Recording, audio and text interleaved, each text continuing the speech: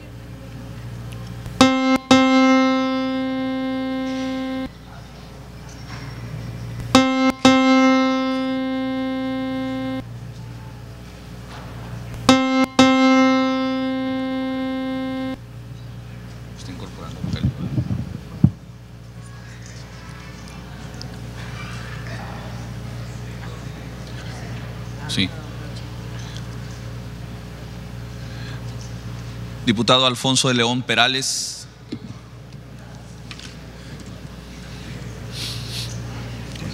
Se cierra el registro de votación con base en el cómputo emitido por el sistema electrónico ha resultado aprobada el acta de referencia por 30 votos a favor. Honorable Pleno Legislativo, procederemos a desahogar el punto de la correspondencia recibida. Al efecto, con apoyo en lo dispuesto en el artículo 23, párrafo 1, inciso A y D de la Ley sobre la Organización y Funcionamiento Internos del Congreso del Estado en vigor, solicito a los diputados secretarios procedan a dar cuenta de manera alterna de la correspondencia recibida para que en uso de sus atribuciones legales esta presidencia determine el turno o trámite correspondiente.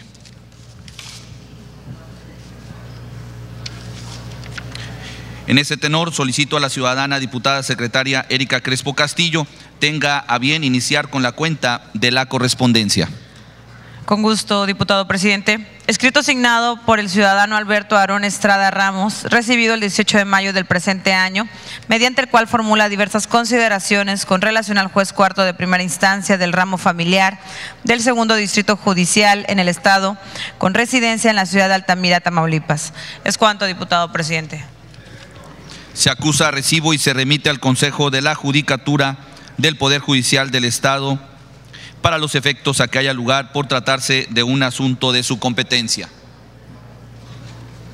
De la legislatura de Coahuila, oficio recibido el 21 de mayo del año en curso, remitiendo copia de acuerdo mediante el cual exhorta respetuosamente al gobierno federal para que a través de la Secretaría de Economía se establezcan medidas arancelarias compensatorias de manera emergente y temporal al nivel máximo permisible en nuestro país, a fin de combatir las importaciones de productos siderúrgicos en condiciones desleales inmersas en el mercado nacional. ¿No se oye? ¿Es cuánto, diputado? Se toma nota, se acusa, recibo y se agradece la información.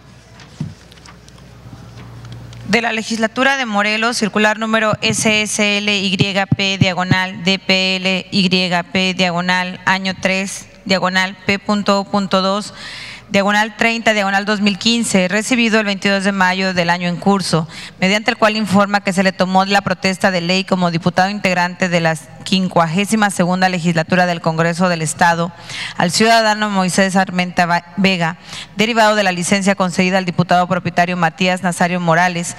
Asimismo, se informa que a partir del día 27 de marzo del presente año fueron incorporados a sus actividades legislativas los diputados propietarios Antonio Rodríguez Rodríguez y Alfonso Miranda Gallegos. Es cuanto, diputado presidente. Se toma nota, se acusa recibo y se agradece la información. De la legislatura de Tabasco, circular número HCE, diagonal OM, diagonal 0072, diagonal 2015, recibida el 22 de mayo del presente año, mediante la cual informa que fueron elegidos como presidenta y vicepresidente del pasado mes de abril la diputada Mireya Zapata Hernández y el diputado Patricio Bosch Hernández. ¿Es cuánto?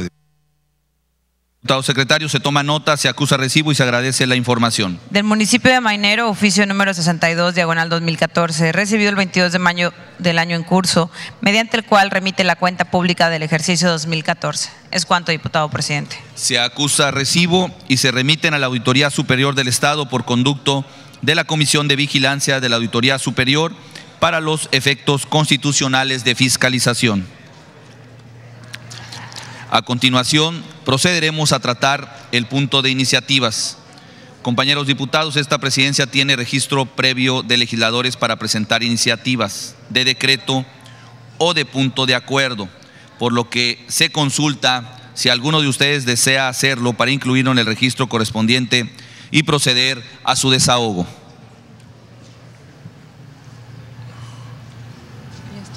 Ya están. A ver, ¿quién es? Diputada Ana María, Ana María. diputada Aida. ¿Quién más?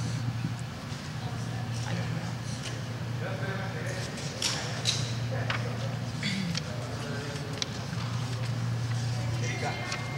Sí, iniciativas. Sí, ¿tú? Diputado Rogelio. Damos la bienvenida al diputado Rogelio, al mismo tiempo una iniciativa.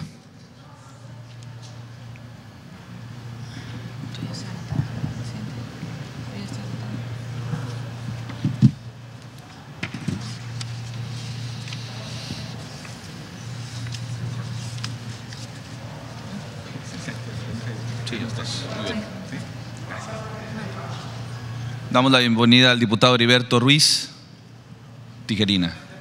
Sí, es correcto, diputado. Claro que sí, diputado. ¿Una o dos? Una, una. Una nomás. Se le concede el uso de la palabra a la diputada Blanca Guadalupe Valles Rodríguez para una semblanza de la iniciativa de decreto mediante el cual se reforman diversas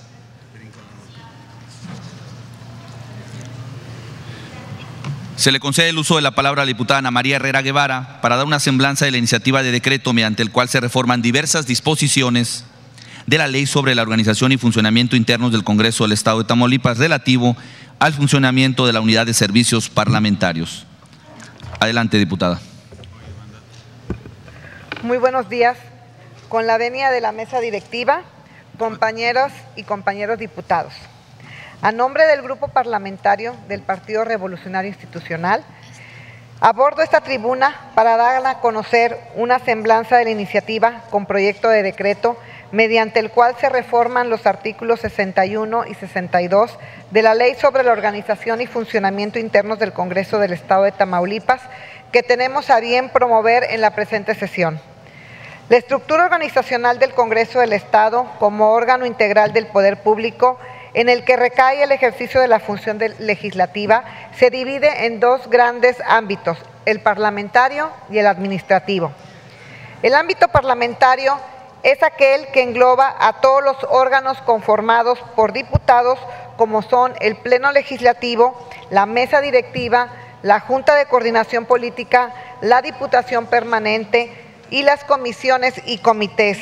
Y el ámbito administrativo se integra por todas las áreas de apoyo técnico que encabeza la Secretaría General de este Congreso y que son necesarias para que los legisladores puedan realizar las actividades inherentes a la función legislativa. Los dos ámbitos se han, ido evolucionando y transformándose a lo largo de la historia del Parlamento de en Tamaulipas, partiendo su origen en atención al fortalecimiento del equilibrio de poderes y el crecimiento de la dinámica social de nuestra entidad federativa, lo que ha propiciado la necesidad de perfeccionar eh, y eficientizar el quehacer parlamentario. De aquí que en el año 2004, mediante el decreto número 750, publicado en el anexo al periódico oficial número 88 del 22 de julio de ese mismo año, se haya expedido la ley sobre la organización y funcionamiento internos del Congreso del Estado, la cual abrogó la ley orgánica del Poder Legislativo expedida en 1986, así como el reglamento para el gobierno interior del Congreso del Estado.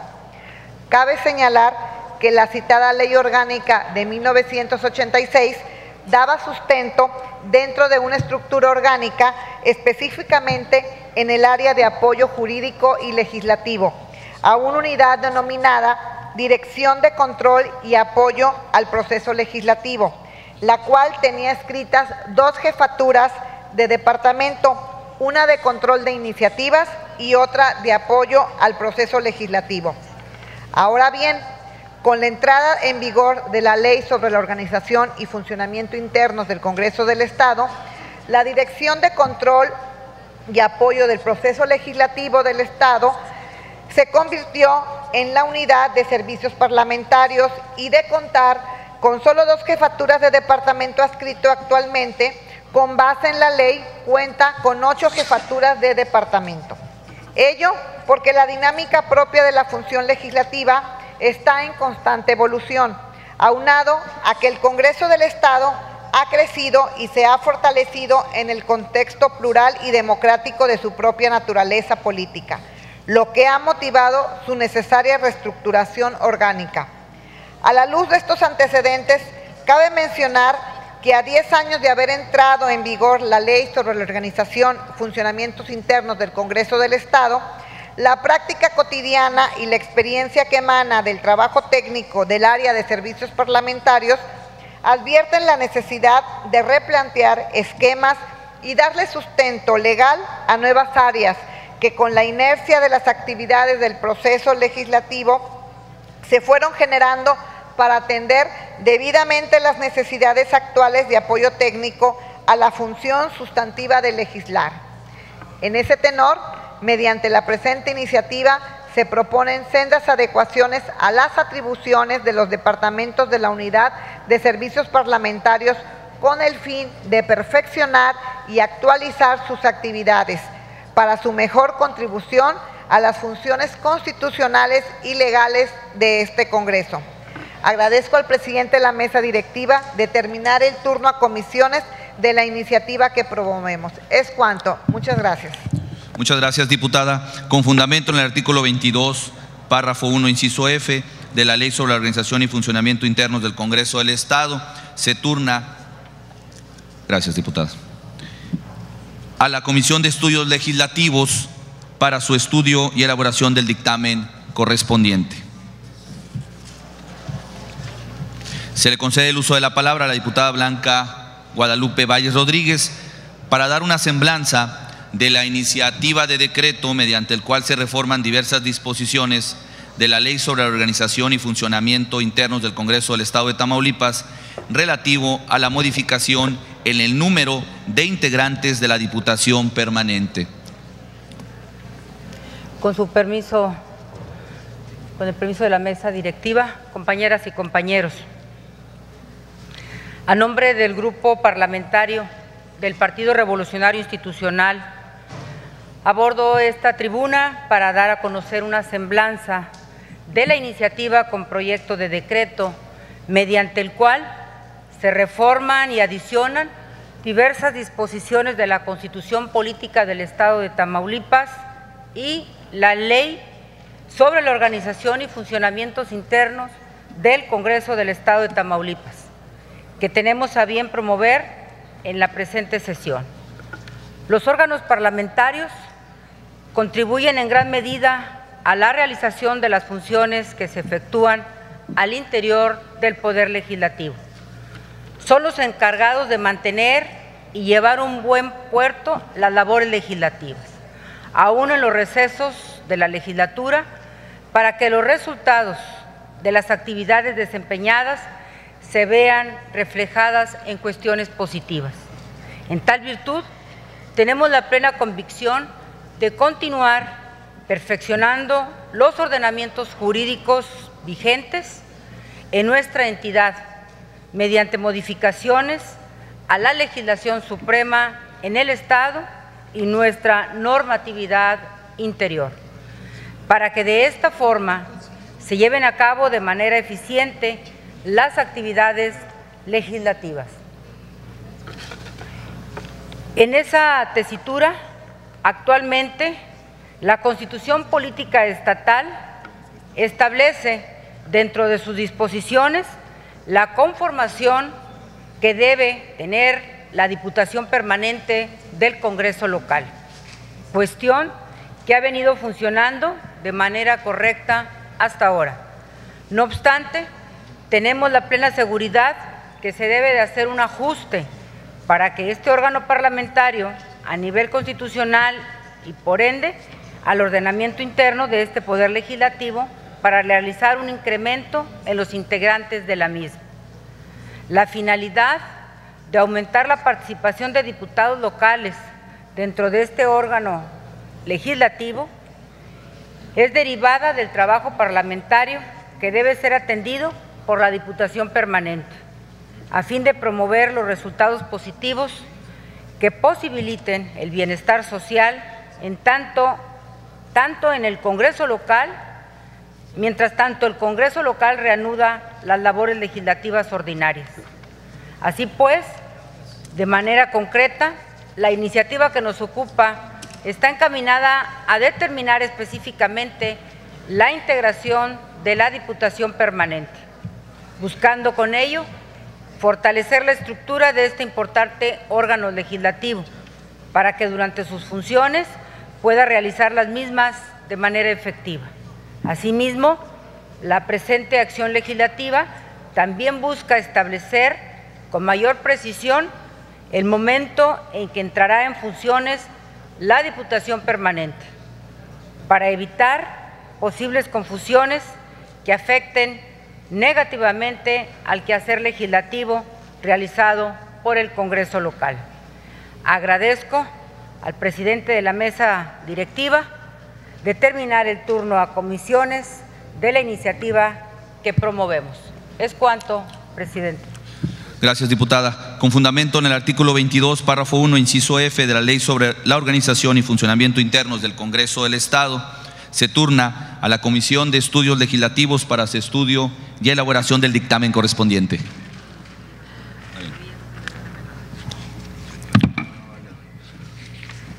Se le concede el uso de la palabra a la diputada Adela Manríquez Valderas para dar una semblanza de la iniciativa de decreto mediante el cual se reforman diversas disposiciones de la Ley sobre la Organización y Funcionamiento Internos del Congreso del Estado de Tamaulipas, relativo a las sanciones por incumplimiento de obligaciones.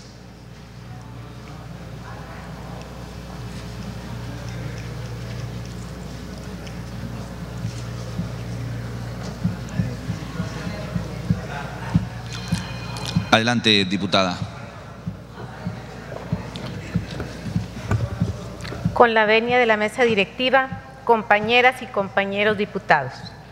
A nombre del Grupo Parlamentario del Partido Revolucionario Institucional, abordo esta tribuna para dar a conocer una semblanza de la iniciativa con proyecto de decreto por lo cual se reforman los párrafos 1 y 3 y se adicionan un párrafo 5 del artículo 72 de la Ley sobre la Organización y Funcionamiento Interno del Congreso del Estado, que tenemos a bien promover en la presente sesión. La presente acción legislativa responde a la necesidad de perfeccionar la disposición que regula las sanciones en torno al cumplimiento de los deberes por parte de los diputados. En ese tenor, tenemos a bien proponer, mediante la presente acción legislativa, las adecuaciones que a continuación me voy a permitir describir. Con relación al párrafo primero, tenemos que el inciso A dispone la amonestación para un diputado por parte del presidente de la mesa directiva o la diputación permanente cuando algún diputado altere el orden de las sesiones o son interrumpidas, infundadas hubiere agotado el número y el tiempo de sus intervenciones. Y continúa haciendo uso de la palabra sin autorización o incite al desorden al público que asista a las sesiones. Se propone cambiar para que éste sea emitida por parte de la mesa directiva de forma colegiada y no unilateral como se encuentra actualmente. Por lo que se hace al inciso A, B, perdón, prevé emitir una amonestación con constancia en el acta de la sesión por parte del presidente de la mesa directiva o la Diputación Permanente cuando incurra en alguna de las causas previstas en la ley. Al efecto, cabe señalar que si bien es cierto esta disposición que se puede cumplir con el acto de la propia sesión y sea incluida en el acta de referencia, esta es aprobada y en forma posterior en tal sentido, no queda documento inscrito por dicha amonestación. En tal sentido, se propone cambiar de dependencia que el presidente de la mesa directiva o la diputación permanente, si lo desean, pidan y se incluya en el acta monción de manera expresa. En tratándose de este acto, sea realizada la amonestación por escrito.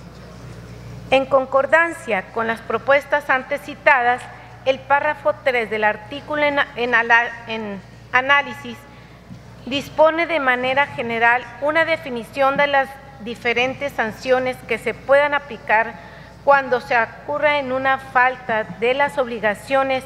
Sin embargo, para el efecto de dar claridad al texto del mismo, se propone que éstas queden desglosadas.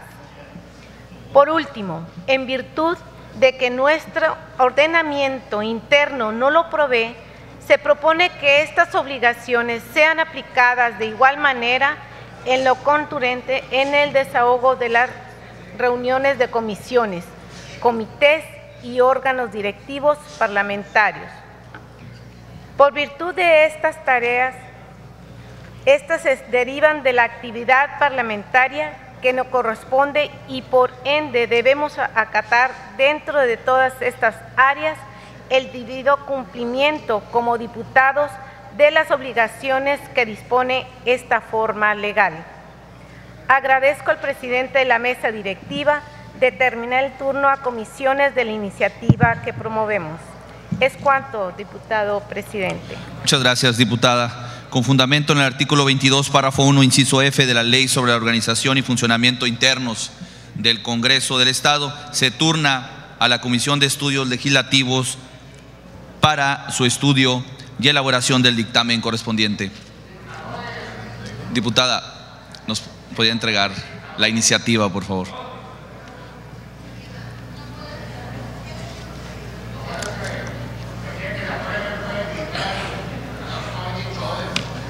Enseguida se le concede el uso de la palabra al diputado Marco Antonio Silva Hermosillo para dar una semblanza de la iniciativa de decreto mediante el cual se reforman diversas disposiciones de la ley sobre la organización y funcionamiento internos del Congreso del Estado de Tamaulipas relativo al funcionamiento de la Unidad de Servicios Administrativos y Financieros. Adelante, diputado. Muchas gracias. Con la venida de la mesa directiva, compañeras y compañeros diputados, a nombre del Grupo Parlamentario del Partido Revolucionario Institucional, abordo esta tribuna para dar a conocer una semblanza de la iniciativa de proyecto de, de decreto mediante el cual se reforman los incisos A, B, C y D y se adiciona el inciso G y H, el párrafo 1 del artículo 63 de la Ley sobre la Organización y Funcionamientos Internos del Congreso del Estado de Tamaulipas, que tenemos a bien a promover en la presente sesión. Por disposición de la, de la Constitución General de la República, el Poder Legislativo recae en, la, una asamblea denominada Congreso del Estado Libre y Soberano de Tamaulipas, a quien corresponde la expedición, reforma y derogación de leyes y decretos que regulan, que regulan el poder eh, de, público de la entidad. El poder legislativo es el órgano del Estado en el que recae la función legislativa, la cual consiste esencialmente en la creación de leyes. Sin embargo, como parte del quehacer parlamentario, el Congreso del Estado desarrolla hacia su interior diversas actividades materialmente administrativas que son inherentes a la gestión cotidiana de los recursos humanos, materiales y financieros, que son indispensables para que los legisladores puedan realizar de la mejor manera posible la actividad sustantiva de legislar. Las actividades antes descritas conciernen a los servicios administrativos y financieros del Congreso del Estado, cuya estructura y atribuciones están establecidas en la ley interna de este Congreso y respecto a los cuales, después de revisar su conformación y funcionamiento, estimamos necesario fortalecer su conformación mediante su reconstrucción administrativa, pues estimamos que ello resulte factible para atender con mayor eficacia los requerimientos de la institución de este ámbito. Agradezco al presidente de la mesa directiva de determinar el turno de las comisiones y la iniciativa que promovemos. Es cuanto, presidente. Gracias. Muchas gracias, diputado. Con fundamento en el artículo 22, párrafo 1, inciso F de la Ley sobre la Organización y Funcionamiento Internos del Congreso del Estado, se turna a la Comisión de Estudios Legislativos para su estudio y elaboración del dictamen correspondiente. Diputado, si nos puede hacer entrega de la iniciativa, se lo agradecería mucho. A continuación se le concede el uso de la palabra a la diputada de la Manríquez Valderas para dar a conocer la iniciativa de punto de acuerdo mediante el cual el Congreso del Estado de Tamaulipas se expresa su reconocimiento a los beneficios que en los municipios de Mier y Tula se han generado con el programa Pueblos Mágicos. Asimismo expresa su voluntad de continuar con las acciones presupuestarias necesarias para la permanencia de dicho programa. Adelante, diputada. Con el permiso de la mesa directiva, compañeros y compañeras diputados, medios de comunicación que nos acompañan. Los suscritos, diputados Adela Manrique Valderas, Jorge Osvaldo Valdés Vargas, Ana María Herrera Guevara, José Salvador Rosas Quintanilla, Erasmo González Robledo, Patricia Guillermina Rivera Velázquez, Irma Leticia Torres Silva y Alfonso de León Perales, integrantes de la Comisión de Turismo de la 62 segunda Legislatura Constitucional del Estado de Tamaulipas. En ejercicio de las atribuciones que a nuestro cargo confieren los artículos 64, fracción 1 de la Constitución Política Local 67, párrafo 1, inciso E, 93, párrafo 1, 2 y 3, inciso B, de la Ley sobre la Organización y Funcionamiento Interno del Congreso del Estado, comparecemos hasta este cuerpo colegiado para promover la iniciativa con proyecto de punto de acuerdo mediante el cual la sexagésima segunda legislatura constitucional del Congreso del Estado Libre y Soberano de Tamaulipas expresa su reconocimiento al Ejecutivo del Estado por las gestiones inherentes a los beneficios que en los municipios de Mier y Tula se han generado con el programa Pueblos Mágicos. Asimismo, expresa su voluntad de continuar con las acciones presupuestarias necesarias para la permanencia de dicho programa. Al tenor de lo siguiente, exposición de motivos. La relevancia del sector turístico no solo radica en su importancia económica, sino también en aspectos culturales, sociales, ambientales de esparcimiento que inciden y convergen en elementos tales como estilos de vida, expresiones artísticas y culturales, tradiciones artesanarias, gastronomía regional, así como una gran diversidad de recursos naturales, entre otros. Debido a su trascendencia, el gobierno federal, a través de la SECTUR, ha puesto en marcha diferentes líneas de acción mediante estrategias que fomenten la actividad turística del país, las cuales están encaminadas a fortalecer y promover a México como un país líder en la actividad turística a nivel tanto nacional como internacional, para contribuir a la consolidación y fortalecimiento de los distintos destinos turísticos e incrementar, por un lado, la competitividad y la oferta turística y por el otro, la generación de más y mejores empleos en beneficio del país. Dentro de las estrategias que han mostrado un mayor impacto por parte de la sector, destaca el dominado programa Pueblos Mágicos de México, creado en 2001 para incentivar el turismo local y regional en México, con el objeto de aprovechar de manera racional y sustentable el gran potencial de los recursos naturales y culturales de las localidades donde el programa se suscribe, el cual ha mostrado su capacidad para formar y potencializar la oferta turística, lo que ha permitido elevar la productividad y creación de servicios, productos altamente competitivos que proporcionan el desarrollo y bienestar de las comunidades y empresas dedicadas a la actividad turística.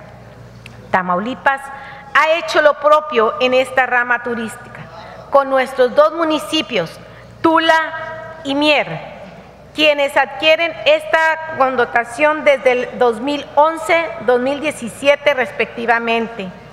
Quienes promovemos esta acción legislativa, queremos dejar constancia de que su objeto se basa en la iniciativa que proviene del diputado Heriberto Ruiz Tijerina en fecha 8 de octubre del 2014 con relación al fortalecimiento y permanencia dentro del programa de Pueblos Mágicos, a quienes reconocemos su esfuerzo y preocupación de gestionar a los municipios que tienen esta distinción, se les siga apoyando para incentivar su desarrollo económico y turístico.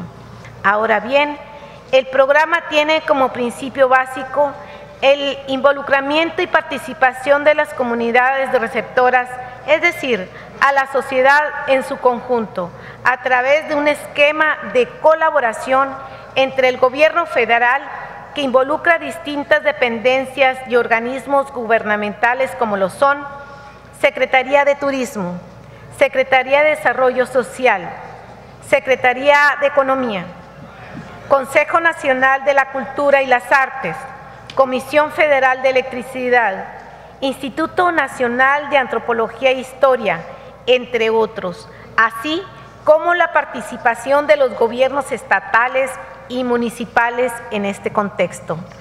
Los resultados altamente exitosos del programa han demostrado que su impulso contribuye a elevar la actividad turística y por tanto a mejorar de manera real y, y sostenida los niveles de bienestar de la población, acrecentando el empleo, fomentando la inversión, fortaleciendo y optimizando el aprovechamiento racional de los recursos atractivos naturales y culturales.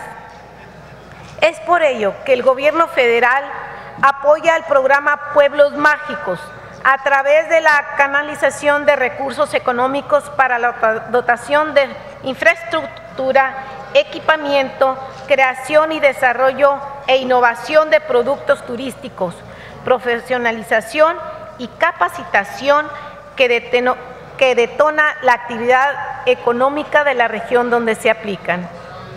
En este sentido, y derivado del trabajo de la Comisión de Turismo, dando cumplimiento a nuestro programa de trabajo, mediante el cual establecemos el compromiso como legisladores de coordinarnos con las autoridades del orden estatal con el propósito de conocer los principales temas de materia turística de Tamaulipas, como coadyuvar al crecimiento, fortalecimiento de esta materia. Hemos realizado diversas reuniones, dentro de las cuales el tema relativo a pueblos mágicos ha sido prioridad. Y refiero como tema prioritario porque hemos constatado los grandes esfuerzos coordinados del orden federal, estatal y municipal para que estos dos destinos turísticos continúen dentro de la permanencia de dicho programa. Debido a ello, como Comisión de Turismo, reconocemos los esfuerzos realizados por el gobierno estatal y municipal para hacer de estos dos destinos turísticos punto obligado cuando visiten Tamaulipas. El esfuerzo conjunto del gobierno estatal y municipal para fomentar el turismo cultural histórico ha dado como resultado que los pueblos mágicos de Mier y Tula reciban a través de los esquemas presupuestales del gobierno del estado aportaciones económicas que indudablemente han sido de gran valor para estos dos municipios.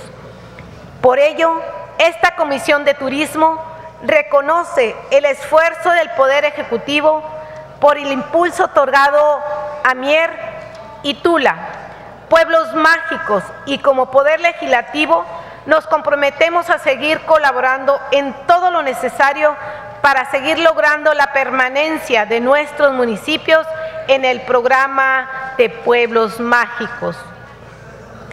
El beneficio que han obtenido las comunidades tras su inclusión en el programa, aunado al mejoramiento de la imagen urbana, ha proporcionado que esto se refleje en la economía y prosperidad de las mismas.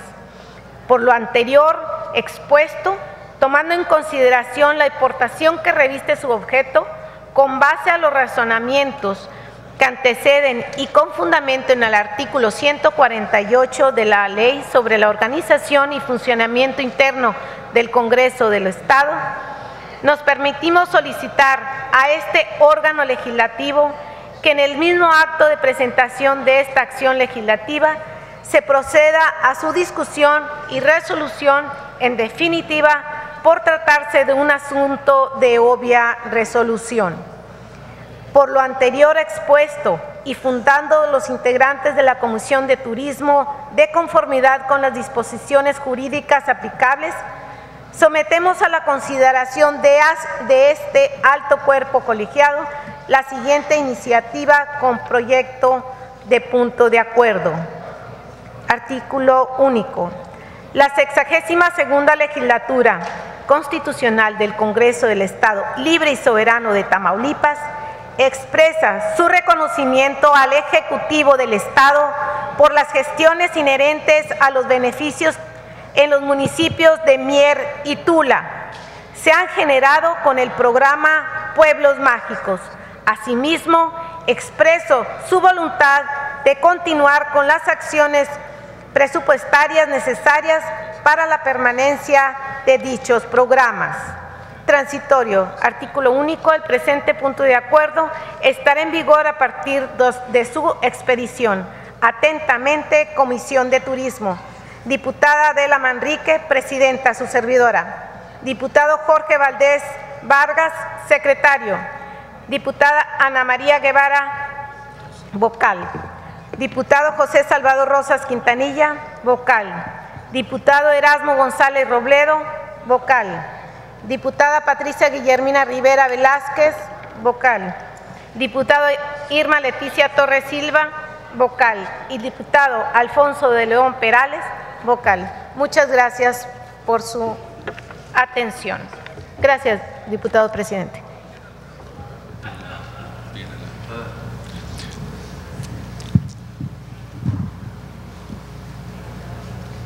Honorable Asamblea Legislativa, en virtud de haberse solicitado en la iniciativa, con apoyo en lo dispuesto en los artículos 148, párrafo 1, 2, 3 y 4 de la Ley sobre la Organización y Funcionamiento Internos del Congreso del Estado en vigor, así como del punto de acuerdo número sexagésimo segundo guion 1, me permito someter a consideración de este cuerpo colegiado si se autoriza la dispensa de turno de la iniciativa a comisiones. Para tal efecto, se declara abierto el sistema electrónico durante un minuto a fin de que los integrantes de este alto cuerpo colegiado emitamos el sentido de nuestro voto para resolver sobre la dispensa de turno de la iniciativa a comisiones.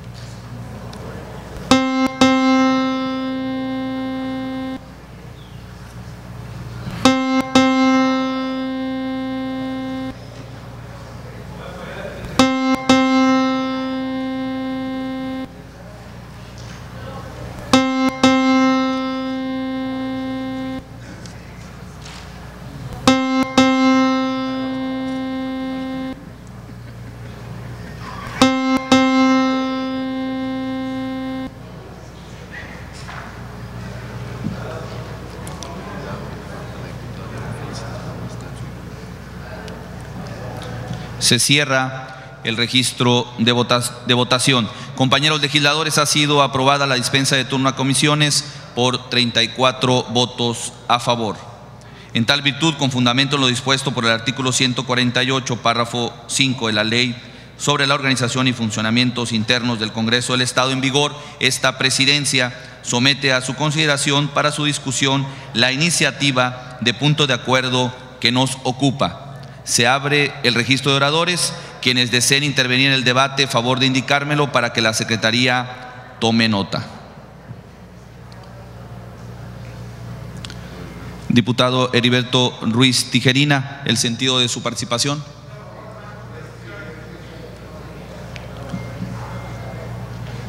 Tiene el uso de la palabra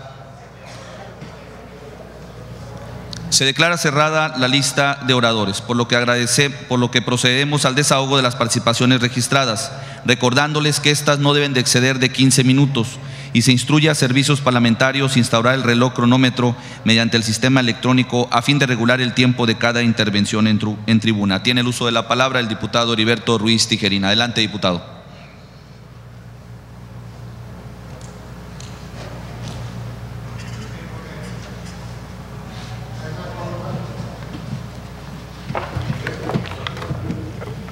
Muy buenos días. Primeramente, vea con el permiso de la mesa directiva y con la anuencia de la asamblea aquí presente. Pues primero que nada, agradecer que finalmente, y digo finalmente porque tuvieron que pasar octubre, noviembre, diciembre, enero, febrero, marzo, abril, mayo, ocho meses, ocho largos meses, para que pudiéramos entender la importancia de la iniciativa que un servidor presentó el 7 de octubre. Y yo la presenté el 7 de octubre porque estaba completamente seguro de que tenía que hacerse y lo fundamenté y lo expliqué claramente. Había un acuerdo que había metido la Secretaría de Turismo en el que nos comprometíamos los estados de la República que tuviéramos acceso a los programas de pueblos mágicos a generar un punto de acuerdo donde efectivamente, lo que bien dijo la diputada Adelita, que le reconozco su esfuerzo y a toda la comisión, de que era necesario tener claro el compromiso presupuestal. Y que bueno, ahorita qué bueno que se hace, porque tenemos que dar cumplimiento y creo que todos los diputados aquí presentes la apoyamos ampliamente porque nos queda claro que tenemos que seguir apoyando el progreso de Tamaulipas. Pero además hay otra cosa importante que quiero decirle también a la Comisión de Turismo. En el acuerdo no solamente es para los pueblos mágicos que ya están en curso, sino que también debemos de considerar la opción de nuevos pueblos que se quieran incluir. Sin embargo, dada la urgencia, porque es una urgencia, este, tener que concluir este proceso, porque tampoco sería justo detener el progreso o el desarrollo de Tamaulipas. Y en ese sentido, vamos a apoyar esta iniciativa y nuestro voto es a favor, pero sí tenía que hacer esas previsiones y precisiones de que hay iniciativas que por su carácter e importancia trascendental para el Estado de Tamaulipas, de repente pareciera ser que duermen mucho y duermen porque se les olvida que hay que darles seguimiento y que hay que darles resultado. Yo recomendaría mucho a los compañeros de servicios parlamentarios que, así como esa iniciativa, tenemos pendientes en ese orden de ideas también, y la presentamos también en tiempo en forma, la creación de la comisión de regidores de estos pueblos, precisamente para darle seguimiento al cumplimiento de todos los lineamientos. Y quiero comentar también que en ese sentido tenemos mucho trabajo. Pero hoy, hoy vamos a estar a favor por el progreso de los pueblos mágicos y en ese sentido mi voto es a favor y mi voto va a ser este para trabajar en el sentido de los pueblos mágicos de Tula y Ciudad Mier. Muchas gracias.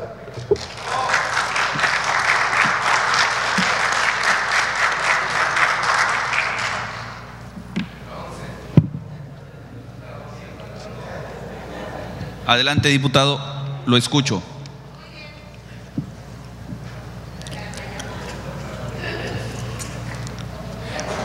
Sí, diputado. Tiene el uso de la palabra, señor diputado. Y aunque no me la diera como de cos, yo sí la agarraría, porque tengo derecho constitucional de poder hablar. Yo solicito a grupos parlamentarios y solicito a las comisiones que acumulen la iniciativa del compañero, que por cierto está hasta más enriquecedora. Yo me sorprendí que hay una iniciativa hoy y que estoy incluido. Agradezco a la comisión que me hayan incluido. Pero más sin embargo creo y siento que es bueno la iniciativa, pero es más enriquecedora que si acumuláramos del compañero Ediberto. Y ya me di cuenta que entre ellos mismos se piratean también las iniciativas. Ya me di cuenta que ellos mismos también se arrebatan en uno entre otro sus iniciativas. Es que ya te identifican como oposición, Ediberto. Nomás te falta que te vengas al PRD. Es cuanto. Adelante, diputado. Muchas gracias por su participación. Al no haber más participaciones, esta presidencia, en términos de lo dispuesto por el artículo 112, párrafo 1 y 2 de la Ley sobre la Organización y Funcionamiento Internos del Congreso del Estado en vigor y del punto de acuerdo número sexagésimo segundo guion 1, se somete a votación el proyecto resolutivo de referencia. Estoy solicitando, un, estoy solicitando que se acumule, tienes que someter, si se aprueba o no se aprueba, que se acumule la iniciativa de él con la iniciativa de nosotros. Entonces, estoy haciendo una propuesta. Ah, pues lo vuelvo a poner.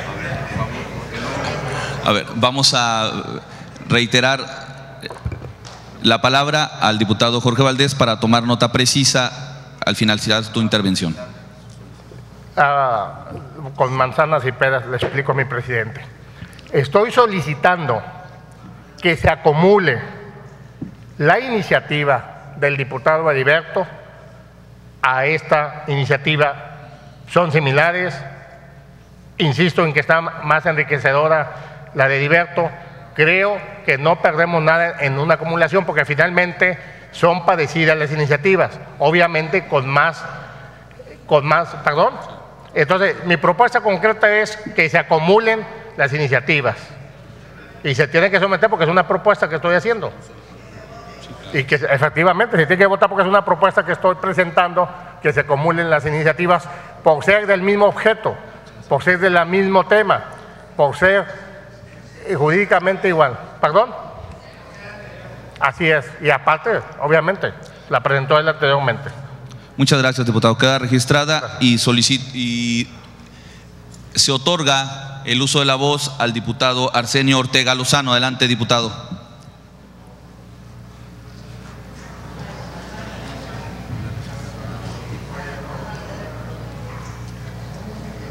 Servicios parlamentarios.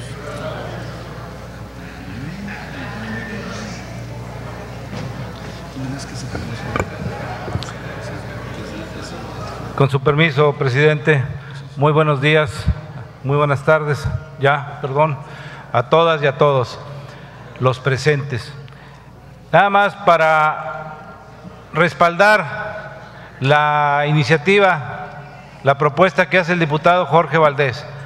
Yo creo que hacemos bien en sacar las eh, iniciativas de la congeladora, ¿sí?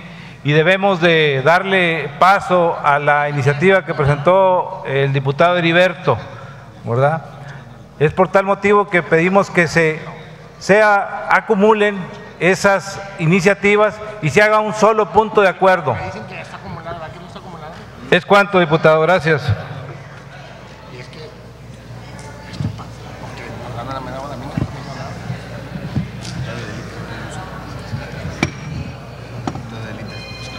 A la diputada Delita. Tiene y se le concede el uso de la palabra a la diputada Adela Manríquez.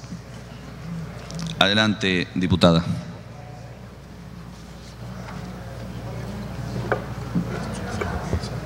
Con su permiso, diputado presidente. Está acumulada, incluso hago mención de la preocupación del diputado Heriberto sobre esta iniciativa. Yo creo que no la escuchó. Gracias.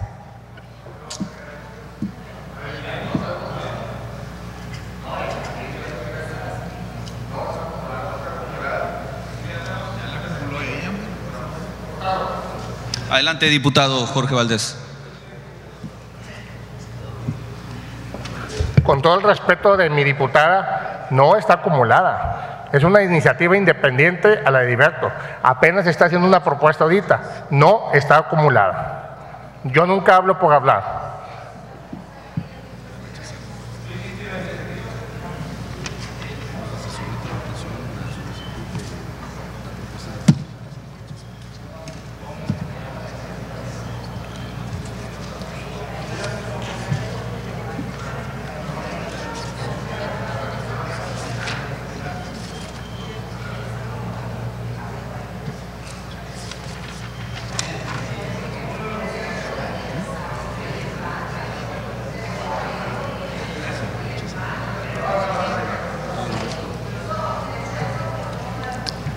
Tiene el uso de la palabra que ha sido solicitada por el diputado Heriberto Ruiz Tijerina.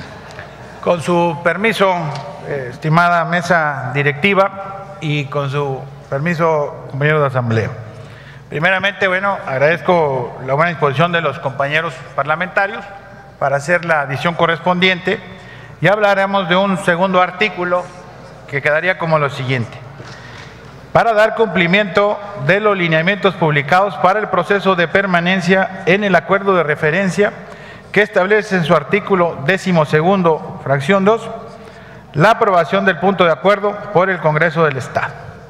Y con eso integramos prácticamente ya lo que ha estado manifestando y sería un artículo segundo en el que establece claramente que es el cumplimiento al acuerdo publicado con fecha 6 de septiembre del 2014.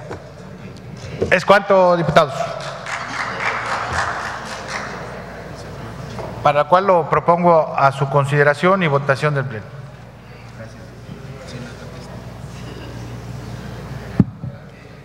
Es, adelante, diputado Arsenio. Tiene el uso de la palabra, diputado Arsenio Ortega Lozano.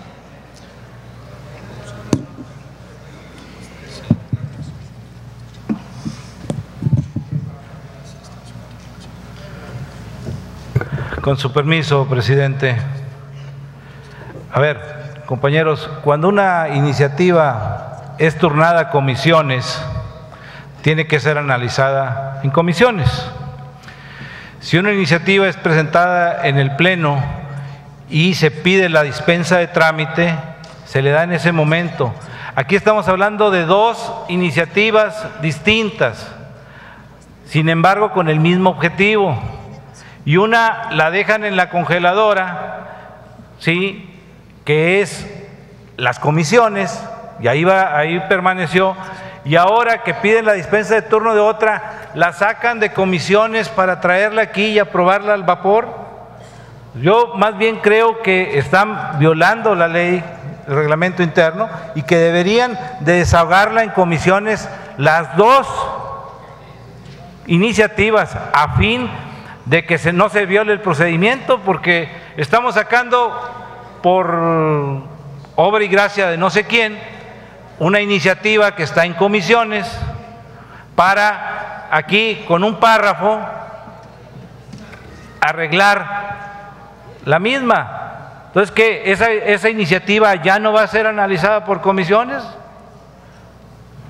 Yo creo que debemos de revisar el reglamento para que nos expliquen a cabalidad cómo es eso, en qué artículos se están basando para poder sacar una iniciativa de comisiones y discutirla en el Pleno sin haberse discutido en comisiones.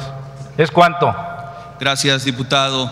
Tiene el uso de la palabra el diputado Heriberto Ruiz Tijerina. Adelante, diputado.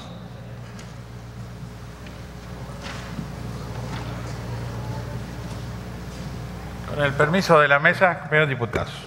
Primeramente, comentarles ¿verdad? que un servidor como promovente de la iniciativa en mención, estoy solicitando ¿verdad? se sume, sacarla de precisamente del pleno y se sume a la propuesta que estamos con el artículo en mención para fortalecer ya la iniciativa presentada aquí en este pleno. Muy bien, diputado, muchas gracias. Esta mesa directiva determina y se tienen por acumuladas las iniciativas presentadas y mencionadas por el diputado Heriberto Ruiz Tijerina y también mencionadas por el diputado Jorge Valdés. Asimismo, se procede a la votación de la iniciativa propuesta con la adecuación correspondiente. Para tal efecto, se declara abierto el sistema electrónico durante un minuto a fin de que los integrantes de esta representación popular emitamos el sentido de nuestro voto sobre el asunto que nos ocupa.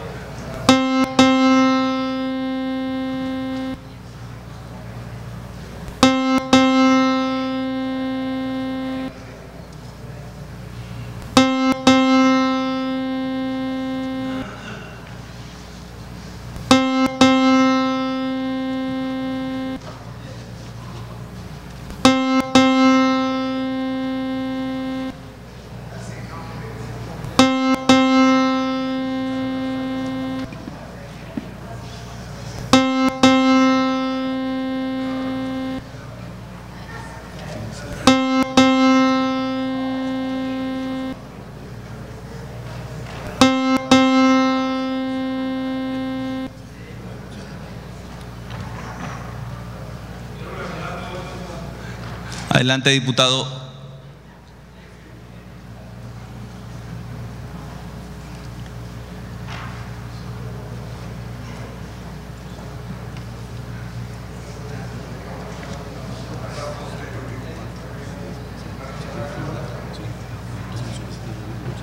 Gracias por otorgarme la palabra para razonar el por qué votar en contra que no es en contra de la iniciativa, sino del procedimiento. Yo solicité en esta tribuna que me dijeran en base a qué artículos estaban sacando una iniciativa de las comisiones y poder agregarla en otra iniciativa. No fue respondida mi, mi pregunta, por lo tanto, mi voto es en contra. Gracias. Se cierra el registro de votación.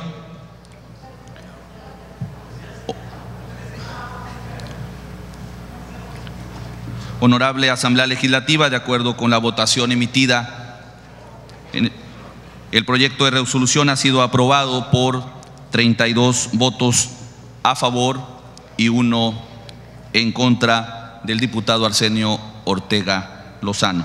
En consecuencia, expídase la resolución correspondiente. Acto seguido, se le concede el uso de la palabra a la diputada Erika Crespo Castillo para dar cuenta de la iniciativa de decreto mediante el cual se adiciona un párrafo cuarto al artículo 322 del Código Electoral para el Estado de Tamaulipas. Adelante, diputada. Gracias. Con el permiso de quien preside la mesa directiva, compañeras y compañeros legisladores. Los suscritos diputados Erika Crespo Castillo, Homero Reséndiz Ramos, Erasmo González Robledo, Carlos Enrique Vázquez Cerda, Marco Antonio Silva Hermosillo, Miguel Antonio Sosa Pérez, Óscar Enrique Rivas Cuellar, Juan Patiño Cruz, todos integrantes de la Comisión de Ciencia y Tecnología de la sexagésima segunda legislatura del Honorable Congreso del Estado de Tamaulipas, con fundamento por lo dispuesto en el artículo 64, fracción 1 de la Constitución Política del Estado, así como en el artículo 67, apartado 1, inciso E, 93 y demás relativos de la Ley sobre la Organización y Funcionamiento Internos del Congreso del Estado, sometemos a la consideración de esta soberanía la presente iniciativa de decreto que adiciona un párrafo cuarto al artículo 322 del Código Electoral para el Estado de Tamaulipas al tenor de la siguiente exposición de motivos. A partir del año 2005, los presupuestos de egresos de la Federación habían mandatado que los recursos derivados de la aplicación de multas electorales federales a los partidos políticos fueran designados al ramo 38 relativo al Consejo Nacional de Ciencia y Tecnología, CONACIT.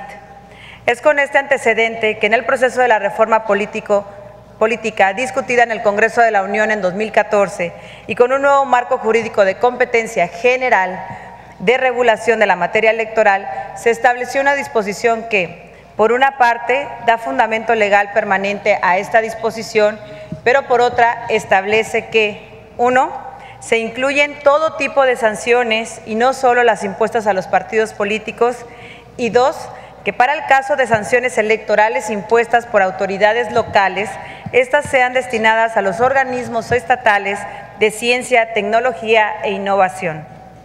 En este sentido, el 23 de mayo de 2014 fue publicada en el Diario Oficial de la Federación la Ley General de Instituciones y Procedimientos Electorales. El ordenamiento establece en el artículo 458, numeral 8, lo siguiente. Los recursos obtenidos por la aplicación de sanciones económicas derivadas de infracciones cometidas por los sujetos del régimen sancionador electoral considerados en este libro octavo serán destinados al Consejo Nacional de Ciencia y Tecnología en los términos de las disposiciones aplicables cuando sean impuestas por las autoridades federales y a los organismos estatales encargados de la promoción, fomento y desarrollo de la ciencia, tecnología e innovación cuando sean impuestas por las autoridades locales. La redacción aprobada por el Congreso de la Unión en el artículo 458 de la Ley General de Instituciones y Procedimientos Electorales reconoce la importancia de los rubros de ciencia, tecnología e innovación como detonadores del progreso económico y desarrollo social en nuestro país. Asimismo, el hecho de establecer que las multas locales se destinarán a los organismos que en cada entidad se encarguen de la promoción, fomento y desarrollo de la ciencia, tecnología e innovación, esto tiene como finalidad apoyar los proyectos estatales en dichos rubros. En esta tesitura y en la parte que corresponde a nuestra entidad federativa, estimamos que las multas electorales impuestas por el Instituto Electoral de Tamaulipas deben ser destinadas al Consejo Tamaulipeco de Ciencia y Tecnología, COTACIT lo anterior es posible en virtud que una ley general es un ordenamiento jurídico que tiene competencia concurrente de autoridades tanto locales como federales y que su aplicación, facultades y obligaciones pueden realizarse de manera conjunta e indistinta. En ese sentido, quienes promovemos la presente acción legislativa en el trabajo realizado en comisiones de fecha 29 de abril del presente año, tuvimos a bien emitir un acuerdo mediante el cual se formulara propuestas que tuvieran a bien integrar la presente iniciativa con el propósito de que ésta sea considerada dentro de los trabajos que para tal efecto realice la Comisión Especial para la Reforma Político-Electoral, tomando en cuenta nuestras consideraciones al elaborar las reformas a nuestro ordenamiento electoral estatal. Por lo tanto, quienes integramos la Comisión de Ciencia y Tecnología, nos permitimos presentar el siguiente proyecto de decreto mediante el cual se adiciona un párrafo cuarto al artículo 322 del Código Electoral para el Estado de Tamaulipas. Artículo único. Se adiciona un párrafo cuarto al artículo 322 del Código Electoral para el Estado de Tamaulipas para quedar como sigue. Artículo 322 para y en, el numeral número uno, párrafo cuarto, los recursos obtenidos para, por la aplicación de sanciones económicas derivadas de infracciones cometidas por sujetos del régimen sancionador electoral considerados en este ordenamiento serán destinados al Consejo Tamaulipeco de Ciencia y Tecnología con el objeto de impulsar y fortalecer la investigación científica, la innovación y el desarrollo tecnológico en los términos de las disposiciones aplicables. Transitorio. Artículo único. El presente decreto entrará en vigor al día siguiente al de su publicación en el periódico oficial del Estado y firman los diputados promoventes. Es cuanto, diputado presidente.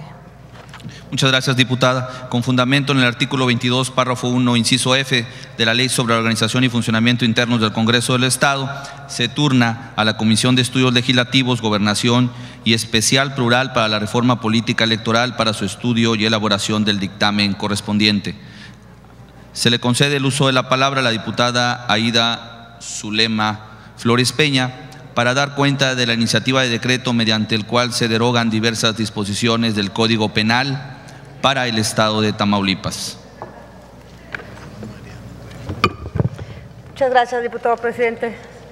Con el permiso de quien preside la mesa directiva, honorable Asamblea Legislativa, los suscritos diputados Ramiro Ramos Salinas, Juan Báez Rodríguez, Griselda Dávila Beas, la de la voz, Laura Felicitas García Dávila, Juan Rigoberto Garza Faz, Erasmo González Robledo, Carlos Javier González Toral, Juan Diego Guajardo Saldúa, Eduardo Hernández Chavarría, Ana María Herrera Guevara, Adela Manrique Valderas, Homero Reséndiz Ramos, José Ricardo Rodríguez Martínez, Heriberto Ruiz Tijerina, Marco Antonio Silva Hermosillo, Olga Patricia Sosa Ruiz, Blanca Guadalupe Valle Rodríguez y Carlos Enrique Vázquez Cerda integrantes del Grupo Parlamentario del Partido Revolucionario Institucional de la 62 Legislatura Constitucional del Estado Libre y Soberano de Tamaulipas, en ejercicio de las atribuciones que a nuestro cargo confieren los artículos 64, fracción primera de la Constitución Política del Estado, 67, párrafo primero, inciso A, 93, párrafos 1, 2 y 3,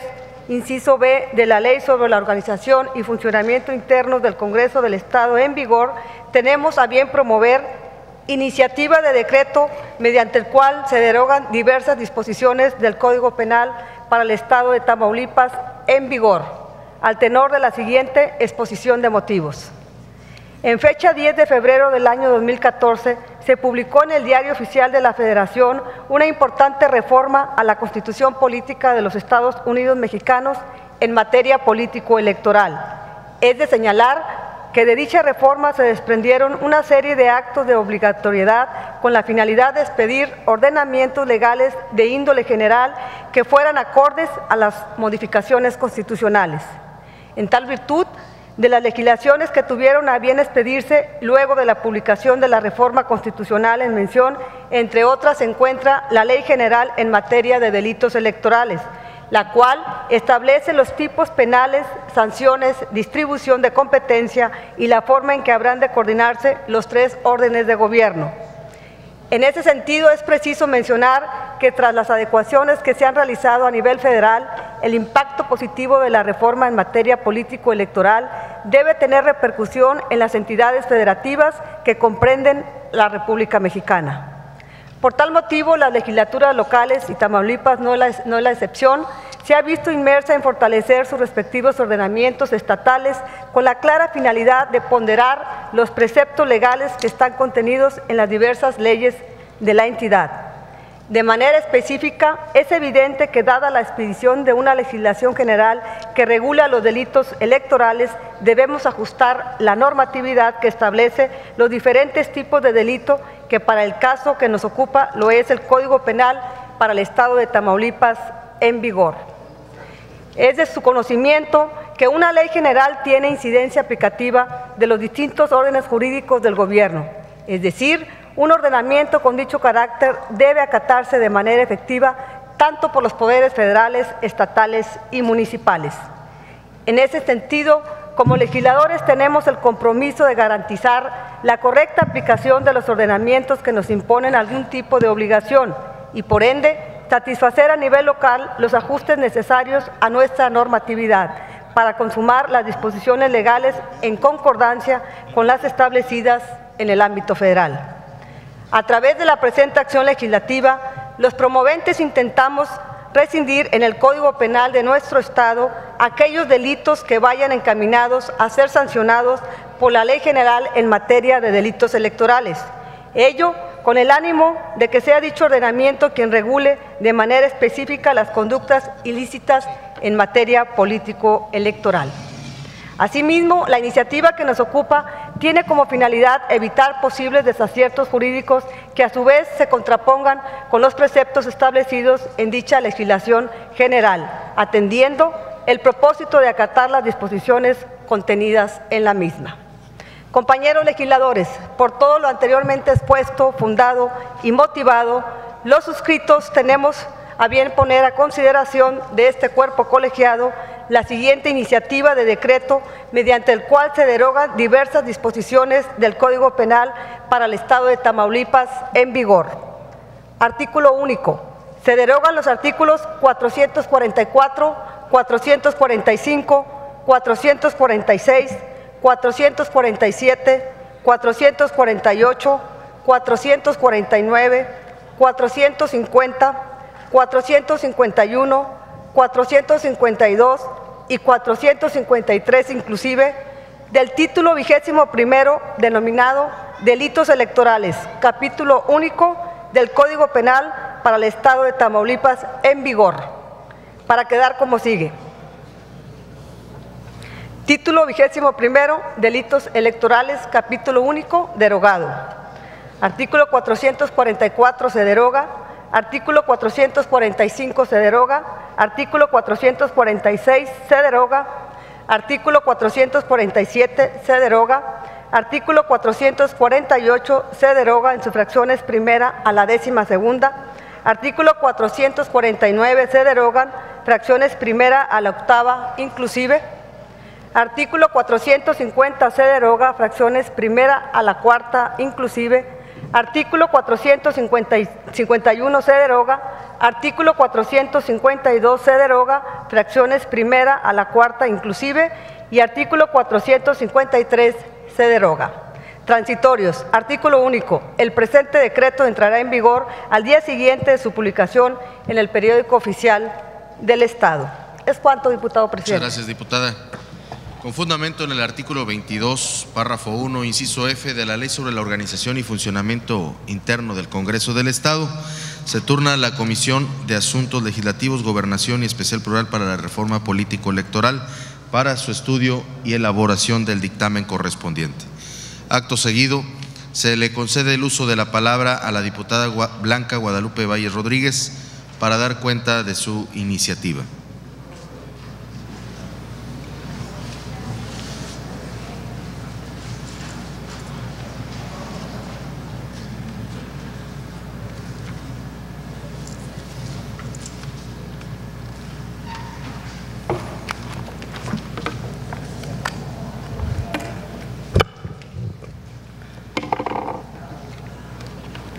Con el permiso de la mesa directiva, compañeros integrantes de esta asamblea, me permitiré dar lectura de la iniciativa que promueve el grupo parlamentario al que pertenezco, procediendo a la lectura únicamente a la parte expositiva de la misma, a fin de obviar tiempo en el desarrollo de esta sesión, solicitando a la mesa directiva se disponga la publicación de la misma a través de los medios conducentes.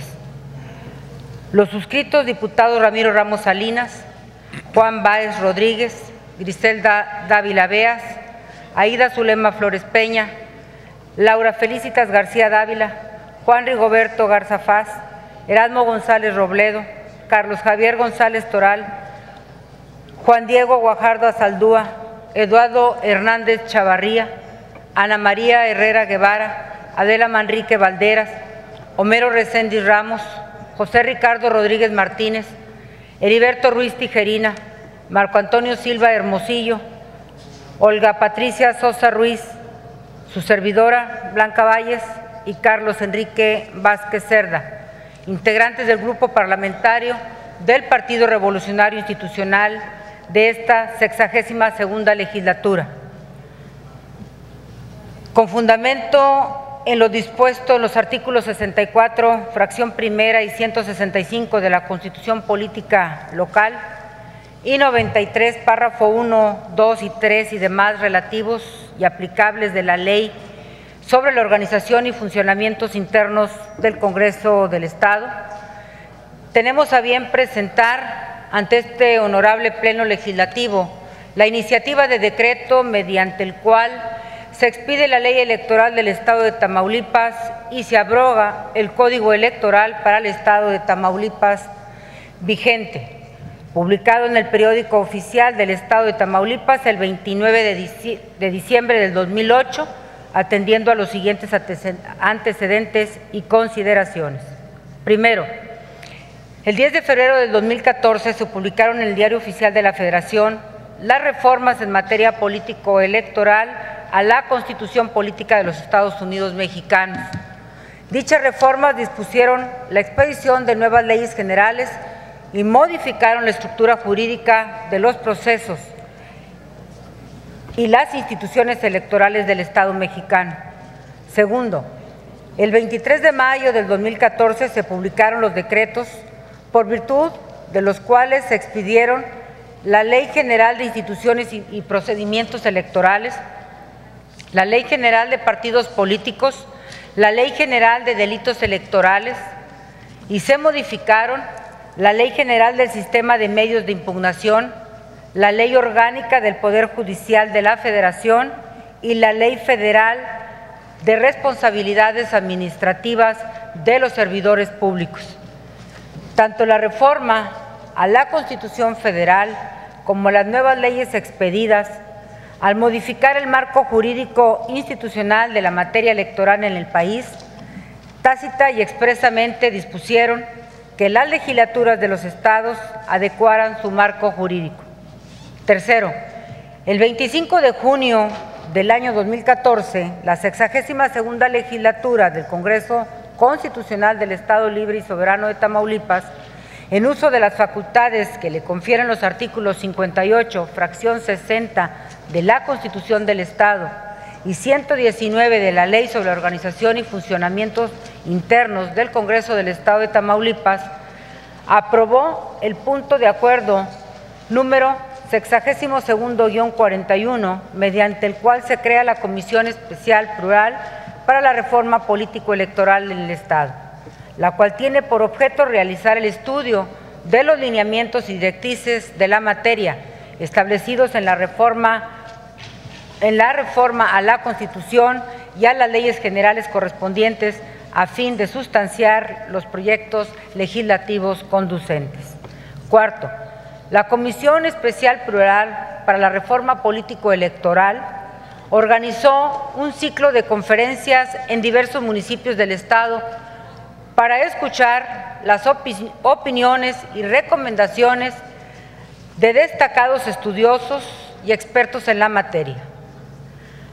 A efecto de que las señoras y señores diputados tuviéramos más y mejores elementos para normar su criterio y allegarse a opiniones que le permitieran discutir a mayor profundidad sobre los alcances y dimensiones de la reforma en cita. Quinto, en días pasados se presentaron diversas iniciativas de reforma al marco jurídico del Estado. En materia electoral, por parte de diversos legisladores y grupos parlamentarios. La reforma, primero la reforma constitucional y legal que se emitieron por parte del Congreso de la Unión y modificaron sustancialmente la normatividad y la institucionalidad electoral en nuestro país y consecuentemente derivaron en la obligación por parte de las legislaturas del Estado de adecuar el marco jurídico.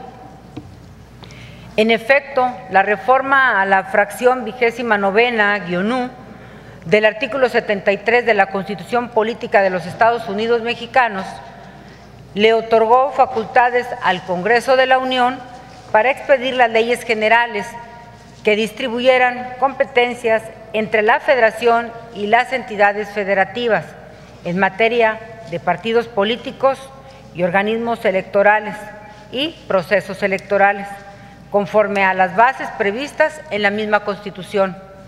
Es decir, además de la distribución tradicional de competencia en federales y estatales, previstas en los artículos 116 y 124, la reforma a la Constitución Federal también distribuyó directamente competencias entre las autoridades electorales nacionales y estatales y lo más importante, otorgó la facultad al Congreso del Estado para que no desde la Constitución, sino desde las leyes, dicho poder distribuya competencias en materia electoral.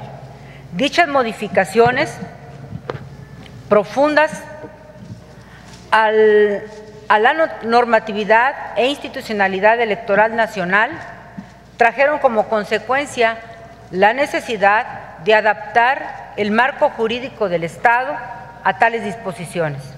Sin embargo, no basta la reforma a la Constitución del Estado, ya que la nueva distribución de competencias legislativas y regulatorias alteró las atribuciones de las autoridades electorales del Estado junto con las modificaciones a diversos rubros del andamiaje jurídico electoral para el Estado de Tamaulipas.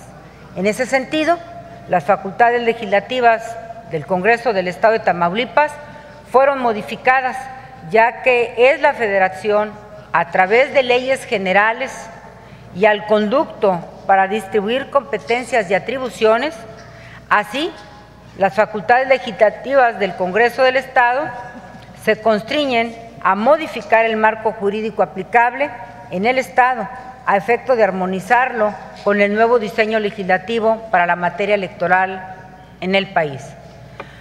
Como ejemplo de ello tenemos que en el Congreso del Estado sus facultades legislativas, pero materialmente ejecutivas, de nombrar a los consejeros electorales del Instituto Electoral de Tamaulipas, así como a los magistrados electorales del Tribunal Electoral del Poder Judicial del Estado, ahora se reservan al Consejo General del Instituto Nacional Electoral y al Pleno del Senado respectivamente.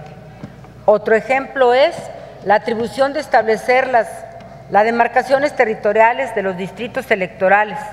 Antes esta era una atribución de la Autoridad Electoral Administrativa, ahora lo es del Instituto Nacional Electoral. Lo mismo sucede con la fiscalización de los recursos de los partidos políticos y con la capacitación electoral, entre otros rubros competenciales. También tenemos que los delitos electorales ahora están tipificados a nivel nacional y que las autoridades de justicia penal los conocerán y perseguirán solo en los procesos electorales estatales. Por cuanto hace a las atribuciones de las autoridades electorales administrativas, fueron objeto de una profunda modificación a, sus atribuciones, ya que ahora en diversos temas de su competencia son únicamente coadyuvantes con la autoridad electoral nacional. Como ejemplo tenemos la distribución de competencias que delinea la Ley General de Partidos Políticos en la materia de regulación de los partidos políticos y en la obligación de proporcionar las prerrogativas a que dichos entes tienen derecho. Ante este nuevo diseño institucional y legal de la materia electoral, se hace necesario e indispensable reformar el marco jurídico aplicable a la materia en el Estado, a fin de adaptar sus ordenamientos e instituciones antes de que inicie el siguiente proceso electoral en el Estado para renovar a los poderes ejecutivo, legislativo y así como a los ayuntamientos. Dos, En este orden de ideas, procederemos a exponer los capítulos de la nueva ley electoral y del Estado de Tamaulipas. Es importante destacar que el haber cambiado las atribuciones en la materia, el Código Electoral para el Estado de Tamaulipas debe ser abrogado y dar paso a la creación de una ley que regule las distintas atribuciones. Y la regulación de la nueva ley se advierte en su capitulado, libro primero, disposiciones generales. En este apartado se delinean cuestiones generales tales como el ámbito espacial especial de validez de la norma, los criterios interpretativos de conformidad con el artículo 14 de la Constitución Política de los Estados Unidos Mexicanos, la cooperación de las otras autoridades con las electorales y las definiciones normativas para mejor comprensión del contenido de los preceptos. Libro segundo de la participación de los ciudadanos en las elecciones.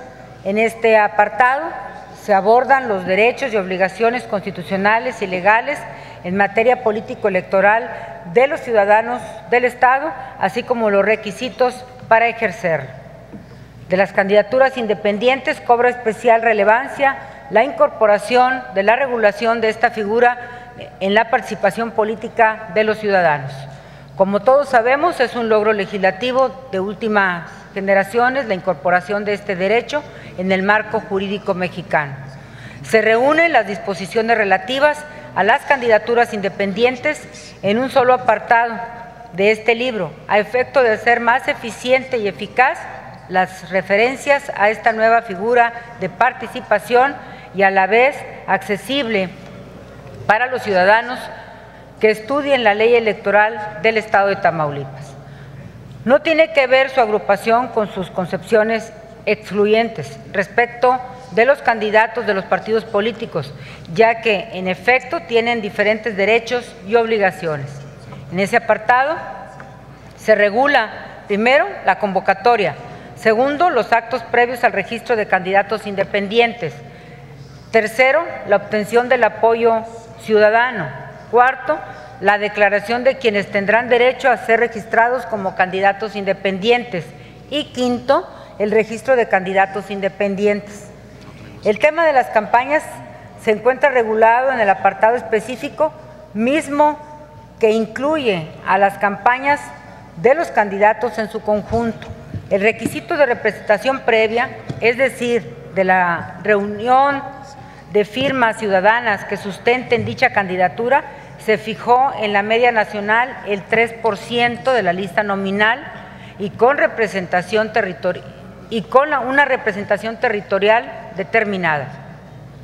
En el libro tercero de los partidos políticos y agrupaciones políticas se especifica que la regulación de los partidos políticos es competencia de la Ley General de Partidos Políticos y de las autoridades nacionales, con la salvedad del procedimiento para registrar a un partido político estatal, mismo que será desahogado por la autoridad electoral administrativa estatal, atendiendo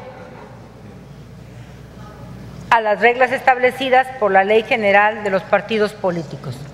También es específica que el Instituto Electoral de Tamaulipas garantizará en los actos y ejercicios de las prerrogativas a las que tienen derecho los partidos políticos. Las agrupaciones políticas estatales, por cuanto a las agrupaciones políticas estatales establecen los requisitos para obtener registro y los límites a su actuación en los procesos electorales. En el financiamiento se especifica la manera en que se otorga el financiamiento público, cómo se distribuye y se remite a la legislación nacional para efectos de la fiscalización. El libro cuarto de los organismos electorales se especifica cuáles son sus fines, sus principios rectores, la naturaleza de sus órganos internos, los órganos centrales y desconcentrados del Instituto Electoral de Tamaulipas, así como cuáles son las competencias residuales que le otorga la Constitución Política de los Estados Unidos Mexicanos en el artículo 41 y también se aclara que la integración del Consejo General y el de Servicio Profesional Electoral Nacional son competencia del Instituto Nacional Electoral. También se delinean las atribuciones de sus órganos de decisión colegiados, unipersonales y técnicos. En abono a la certeza se establecen claramente las atribuciones de los consejeros electorales y las comisiones del Consejo General. Por cuanto a la atribución de fiscalización, estas se actualizarán solo en casos de delegación expresa por parte de la Autoridad Electoral Administrativa Federal. Para ello subsiste la unidad de fiscalización del Instituto Electoral de Tamaulipas y prevalece la Contraloría General del Instituto Electoral de Tamaulipas como órgano, este sí nombrado por el Pleno del Congreso del Estado. Se especifica también las atribuciones y competencias de las direcciones ejecutivas del Instituto Electoral de Tamaulipas, así como de las comisiones del Congreso del Consejo General. No, cobrarán relevancia las áreas de apoyo técnico del instituto, tales como las direcciones del secretariado, la administración y otras que coadyuvan a las tareas del resto. La competencia coordinadora del secretario ejecutivo es relevante para que la gestión de los asuntos se lleve en la misma vía, evitando la e instituciones de, de duplicidad de esfuerzos. Asimismo, se aborda la integración, competencia y organización de los consejos generales, distrital y municipal, así como la integración de las mesas directivas de casilla. Libro cuarto, de las elecciones de gobernador, diputados al Congreso y ayuntamientos en el estado de Tamaulipas. En este apartado se establece la periodicidad, la fecha de elección, los requisitos de elegibilidad. Asimismo, por cuanto a la integración del Congreso del Estado, se establece el umbral mínimo para tener derecho a la repartición de diputaciones por el principio de representación proporcional. También se establece el procedimiento de aplicar cuando en la distribución de diputaciones por el principio de representación proporcional, algún partido político se encuentre en el supuesto de subrepresentación previsto en la fracción segunda del artículo 116 de la Constitución Política de los Estados Unidos Mexicanos. Asimismo, se establece el número de integrantes de cabildo, incluyendo a los de representación proporcional, atendiendo el número de habitantes de cada municipio. En el libro quinto del proceso electoral, en este apartado se especifica la fecha de inicio y los periodos de precampañas y campañas y resultados electorales. Una novena es la incorporación de la obligación de la autoridad electoral administrativa de organizar los debates, dos debates para la elección de gobernador del Estado, así como procurar la organización de otros debates para los distintos cargos de elección popular que se compiten en el proceso electoral. Es cuanto, diputado presidente. Muchas, muchas gracias, diputada Blanca Guadalupe Valles Rodríguez. Con fundamento en el artículo 22, párrafo 1, inciso F, de la Ley sobre la Organización y Funcionamiento Interno del Congreso del Estado, se turna la Comisión de Estudios Legislativos, Gobernación y Especial Plural para la reforma político-electoral para su estudio y elaboración del dictamen correspondiente. A continuación, se, le concede el uso de la palabra al diputado Rogelio Ortiz Mar para que dé cuenta de su iniciativa.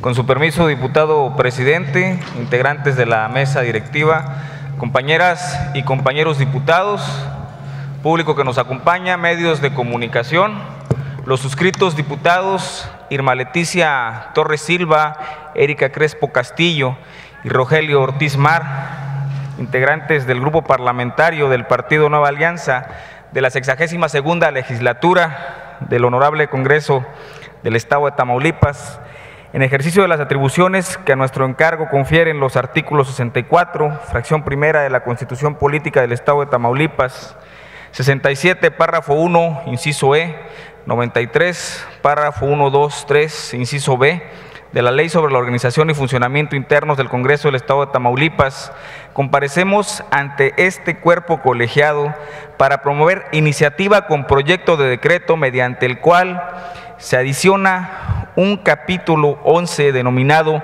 Violencia en los espectáculos deportivos al título decimosexto del Código Penal para el Estado de Tamaulipas al tenor de la siguiente exposición de motivos. Primero, que la Ley General de Cultura Física y Deporte, a partir del 9 de mayo de 2014, clasifica los espectáculos públicos en tres clases, entendiendo como evento deportivo a cualquier encuentro entre deportistas afiliados a asociaciones o sociedades deportivas que se realice conforme a las normas establecidas por estas y por los organismos rectores del deporte. Evento deportivo masivo, sin importar el número de personas que se encuentren reunidas.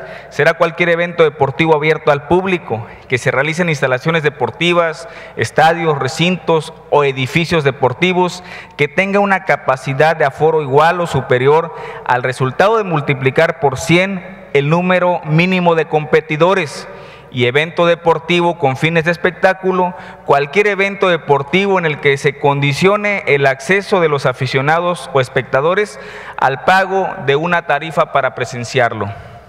Segundo, que en toda su extensión los eventos de carácter deportivo son actividades que a través de las políticas públicas implementadas presentan un índice cada vez más alto de participación y asistencia en una esfera de sana convivencia. Su práctica estimula la competencia, fomenta la recreación y aumenta la convivencia tanto familiar como social, enriqueciendo el desarrollo de nuestra entidad. Sin embargo, los eventos deportivos son vulnerables en cuanto a conductas antisociales y podemos observar en los últimos tiempos un inquietante aumento de sucesos violentos por presuntas rivalidades entre aficionados, lo cual ha derivado situaciones desagradables, en ocasiones lamentables para la seguridad de los asistentes, su dignidad e integridad personal y la de sus bienes y la de los inmuebles que se realizan dichos eventos. En resumen, se superan los límites de la pasión deportiva para efectuar actos delictivos. Tercero, que en este contexto el ingeniero Egidio Torre Cantú, gobernador constitucional del estado de Tamaulipas, en su Plan Estatal de Desarrollo 2011-2016, establece una cultura de no violencia, la cual contempla tres líneas de acción fomentar la cultura de paz y armonía comunitaria con criterios de participación social, mediación de conflictos y prevención de conductas violentas. Divulgar una cultura de paz que alerte y prevenga conductas físicas, psicológicas y sociales disfuncionales en escuelas, hogares y centros de trabajo desarrollar técnicas de prevención y mediación de conflictos en centros educativos, comunitarios, familiares y laborales. Asimismo, menciona la recuperación de espacios públicos asumiendo las siguientes estrategias. Fortalecer la infraestructura para el deporte, la cultura y la recreación que contribuya a la prevención de conductas antisociales y a la integración familiar y comunitaria determinar acciones de rescate y rehabilitación de espacios públicos de recreación, cultura y deporte ubicados en zonas de alta incidencia delictiva. Cuarto, que en un ejercicio de derecho comparado arroja que en el Distrito Federal existe una ley en materia de espectáculos deportivos ello derivado de la gran densidad poblacional que existe y las múltiples zonas deportivas ubicadas en la capital del país. También los estados de Nuevo León, Querétaro y San Luis Potosí ya cuentan con reformas a sus códigos penales en materia de violencia en espectáculos deportivos y en los estados de Guanajuato y Morelos han emitido ya la iniciativa en cuestión, tipificando delitos para aquellos que cometan sanciones en dichos eventos. Cabe mencionar que el Senado y la Cámara de Diputados Federal aprobaron reformas a la Ley General de Cultura Física y Deporte para sancionar hasta con cuatro años y medio de cárcel a quienes generen violencia dentro y fuera de los estadios y de seis meses hasta cuatro años a quienes participen activamente en riñas con 10 a 60 días de multa. Quinta, que la ley de cultura física y deporte para el estado de Tamaulipas solo establece infracciones y sanciones administrativas a organismos deportivos, directivos del deporte, deportistas, instructores, técnicos y entrenadores, árbitros y jueces, autoridades deportivas municipales en el ámbito de sus competencias, organizadores de competencias deportivas e instituciones educativas, sin embargo, no contempla medidas para los espectadores. Sexto, que la Suprema Corte de Justicia de la Nación ha emitido criterios relacionados con la violencia en espectáculos deportivos, como se aprecia en la tesis de 2010, cuyo rubro y contenido es el siguiente.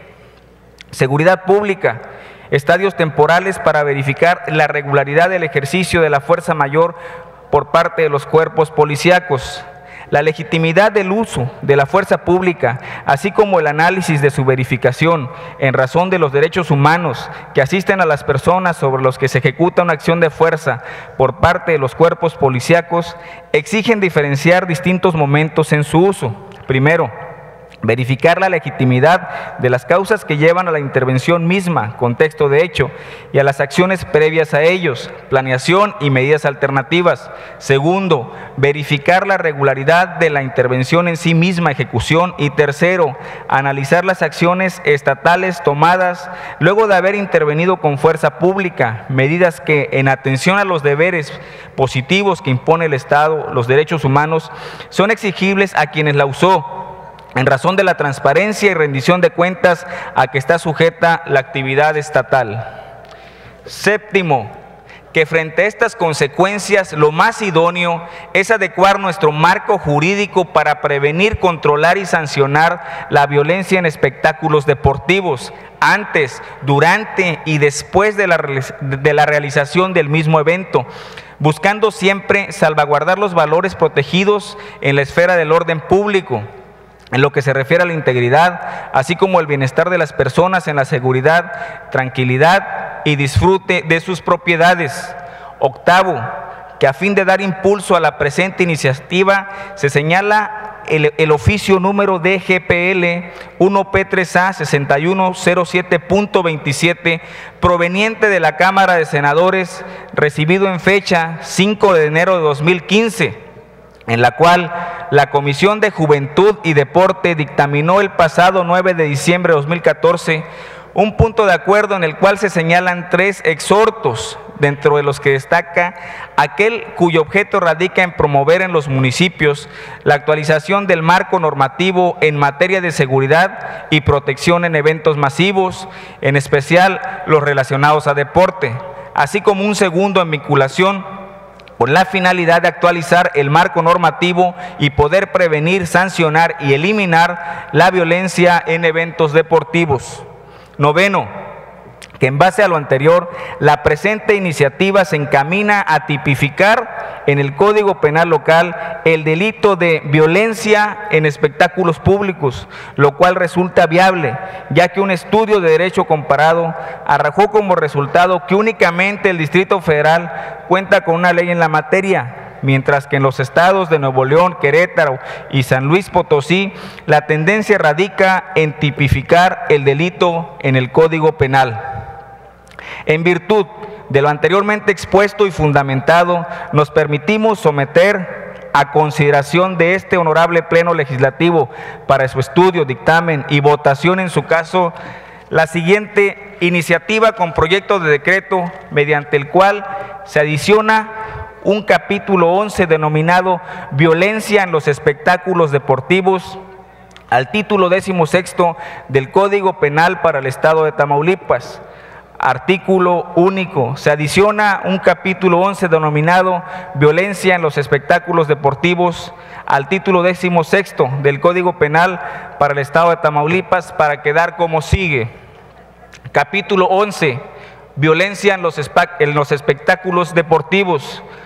Artículo 368, quinques.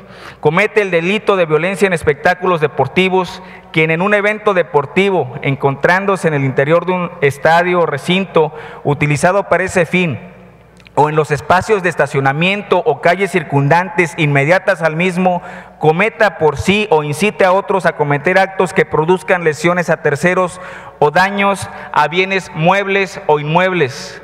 Se castigará con prisión de 1 a 4 años y multa de 10 a 80 días de salario mínimo vigente, sin perjuicio de las sanciones a que se haya hecho acreedor por la comisión de diverso delito.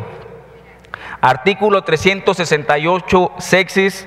Además de las sanciones previstas en este capítulo, a juicio del juez, se podrá prohibir al inculpado asistir a estadios o recintos de espectáculos deportivos.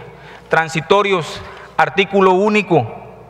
El presente decreto entrará en vigor al día siguiente al de su publicación en el periódico oficial del Estado, dado en el recinto oficial del Congreso del Estado de Tamaulipas a los 27 días del mes de mayo del año 2015. Es cuanto, diputado presidente. Muchas gracias, diputado. Con fundamento en el artículo 22, párrafo 1, inciso F de la Ley sobre la Organización y Funcionamiento Interno del Congreso del Estado, la iniciativa del diputado Rogelio Ortiz Mar se turna a la Comisión de Deportes para su estudio y elaboración del dictamen correspondiente. A continuación, se le concede el uso de la palabra al diputado Heriberto Ruiz Tijerina para que dé cuenta de su iniciativa.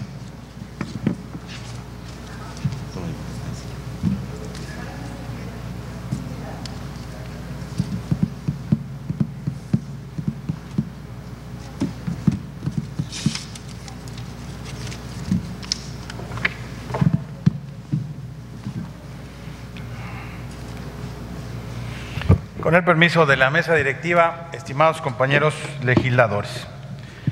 El suscrito Heriberto Ruiz Tijerina, integrante del grupo parlamentario del Partido Revolucionario Institucional de esta sexagésima segunda legislatura y con fundamento en las facultades que nos otorga la Constitución Política del Estado, así como la ley sobre la organización y funciones internas de este Congreso, me permito someter a esta soberanía la siguiente iniciativa de punto de acuerdo en el que establezcamos la generación de un portal para promover el empleo para el adulto mayor.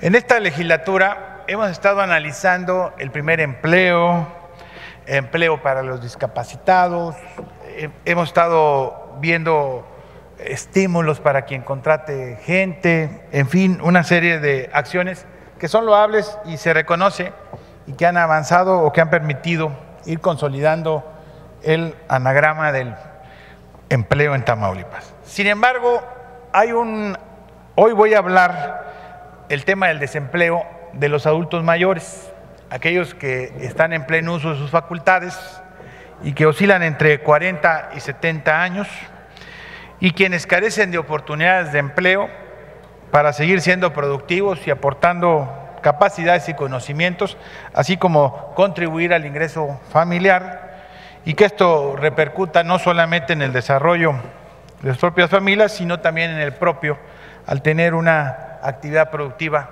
y de servicio. Al analizar esta propuesta, me puse a observar y analizar que la mayor parte de las personas en estas edades cuentan con diversas capacidades y posibilidades que han adquirido en el transcurso de su vida, donde podemos conocer habilidades de la carpintería, mecánica, eléctrica, idiomas como el inglés, algunos dibujo, albañilería o, o cuestiones técnicas, en fin, tiene una serie de conocimientos, por mencionar algunos. Y también reconocemos que tanto el gobierno federal, el gobierno del estado, los propios municipios, pues han impulsado políticas a través de las famosas pymes, pero vemos con preocupación que al carecer estas personas de un ingreso sólido, pues no son sujetos que les permite acceso a dichos programas, ya que sus ahorros o pensiones normalmente las destinan al apoyo familiar o a la manutención propia. La población adulta de 40 años en Tamaulipas tendrá un crecimiento en los próximos años. Actualmente andamos en alrededor de un 27%. Es decir, un grueso importante de la población está en esa etapa y que mucha de esa población tiene mucho que aportar, pero los espacios son escasos. El autoempleo es otra de las alternativas que se necesita contemplar para proporcionar fuentes de ingresos a estos sectores vulnerables. Sin embargo, actualmente existen pocas experiencias de la implementación en este tema en políticas públicas, las cuales el motivo de esta iniciativa es para analizar, incentivar, apoyar precisamente el emprendimiento de estos colectivos en situación vulnerable.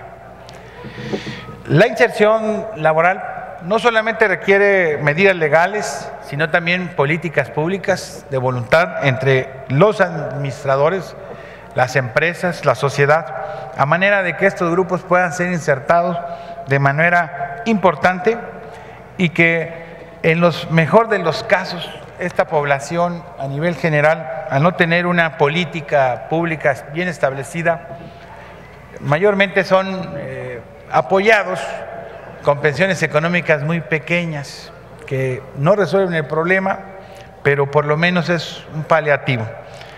Preocupados por esto, es importante impulsar modelos de modernidad, modelos de red.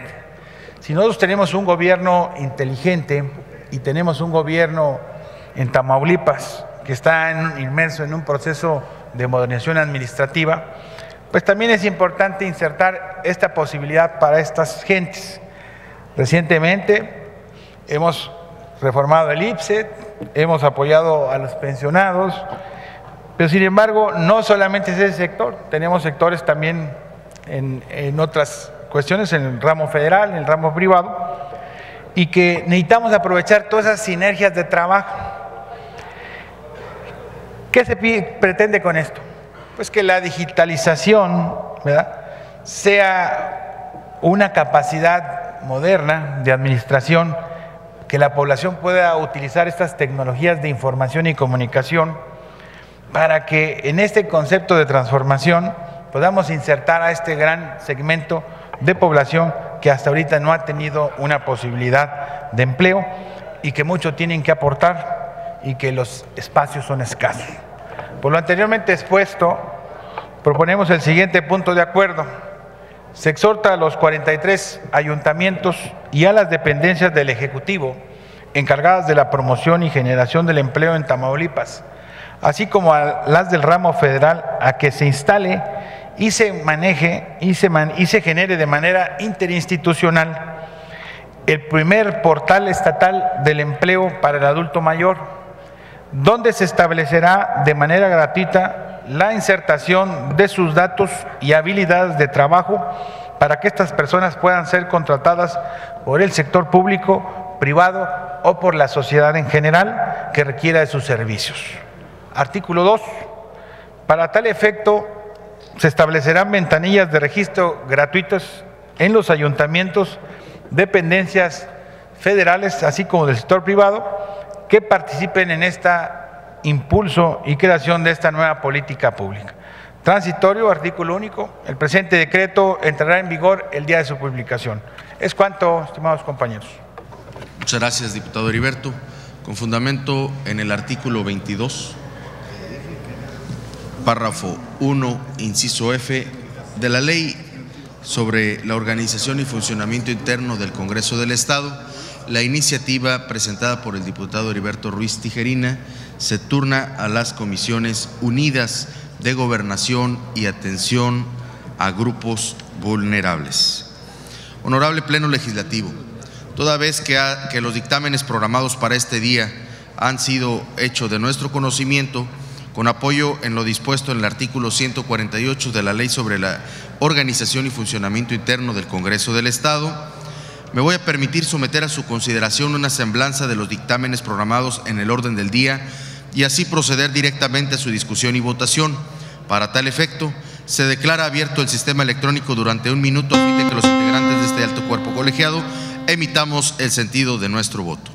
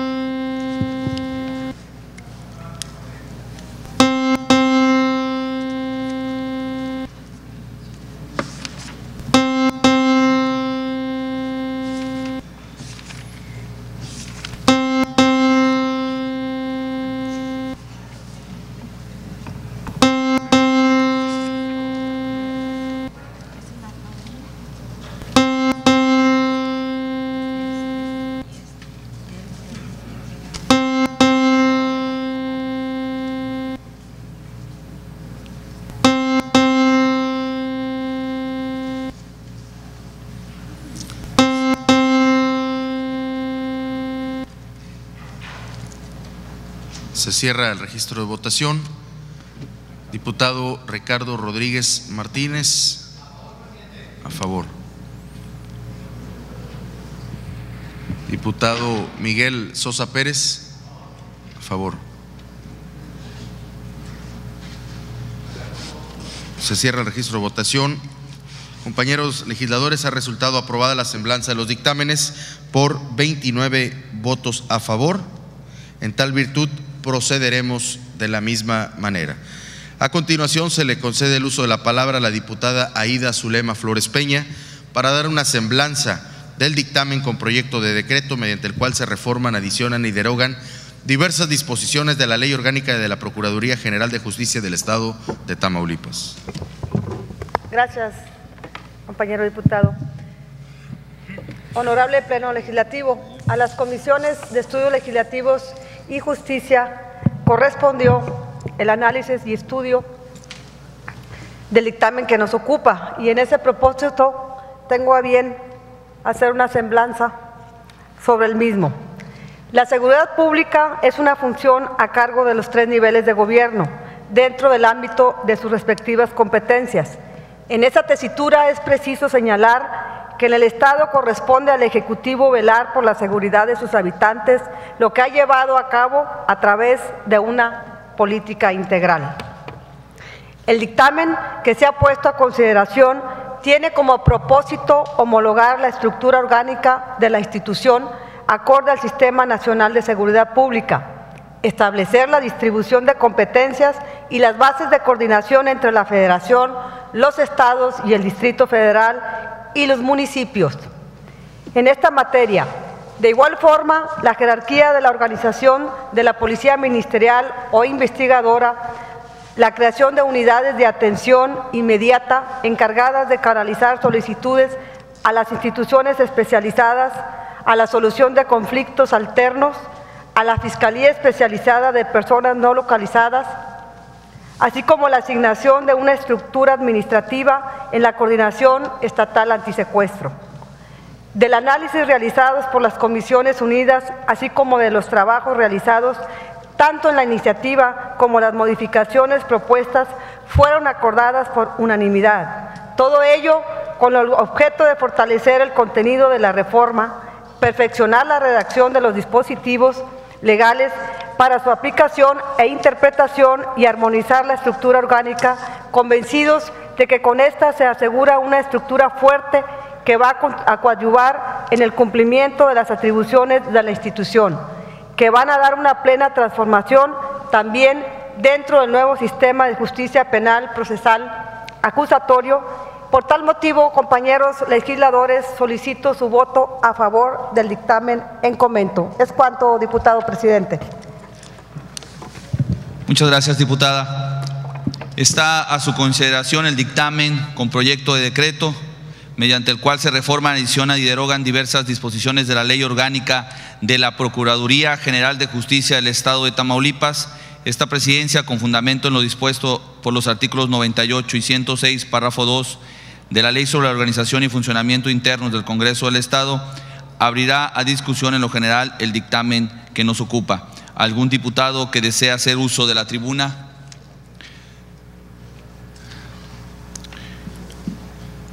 No habiendo más solicitudes, esta presidencia declara cerrada la lista de oradores, por lo que procederemos al desahogo de las participaciones registradas, recordándoles que éstas no deben exceder de 15 minutos y se instruye a servicios parlamentarios instaurar el reloj cronómetro mediante el sistema electrónico a fin de regular el tiempo de cada intervención en tribuna. Tiene el uso de la palabra el diputado Jorge Osvaldo Valdés Vargas. Adelante, diputado.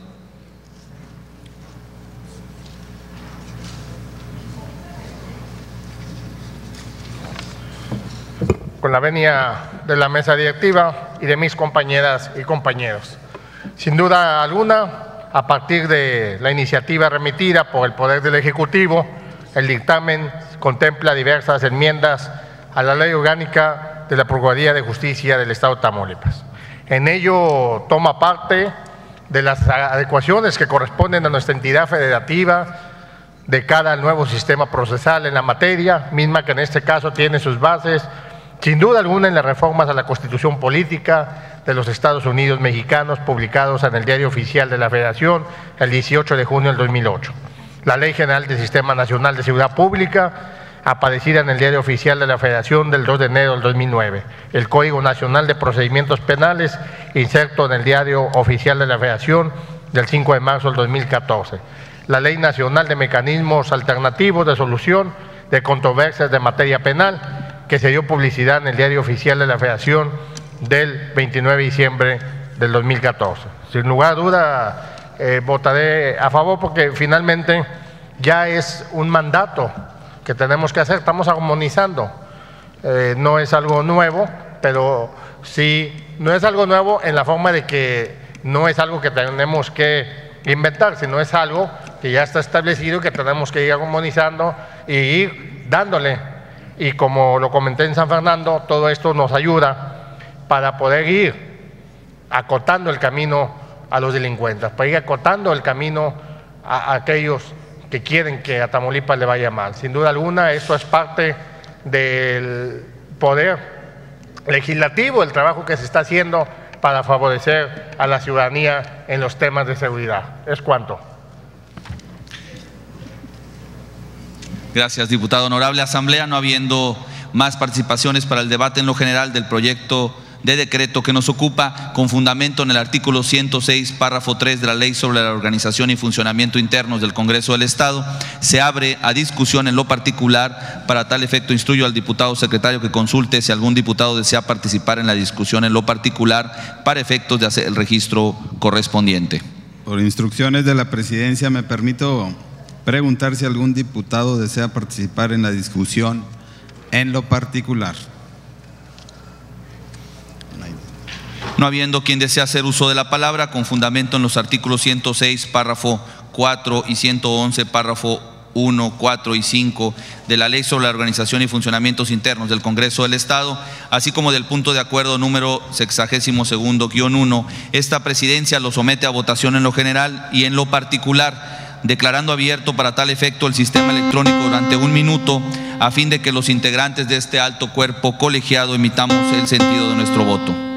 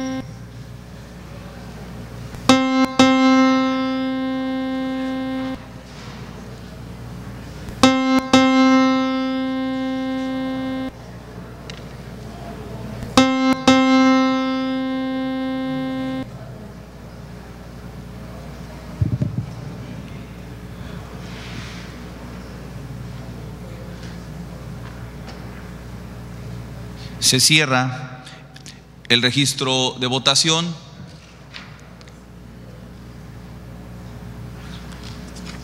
Honorable Asamblea Legislativa, de acuerdo con la votación emitida, el decreto ha sido aprobado por unanimidad por 29 votos a favor. En tal virtud, despídase el decreto correspondiente y remítase al Ejecutivo del Estado para los efectos constitucionales. Enseguida, se le concede el uso de la palabra al diputado Arsenio Ortega Lozano, quien dará a conocer una semblanza del dictamen con proyecto de decreto mediante el cual se reforman los artículos cuarto, 22, fracción séptima y 56 de la ley de la Comisión de Derechos Humanos del Estado de Tamaulipas.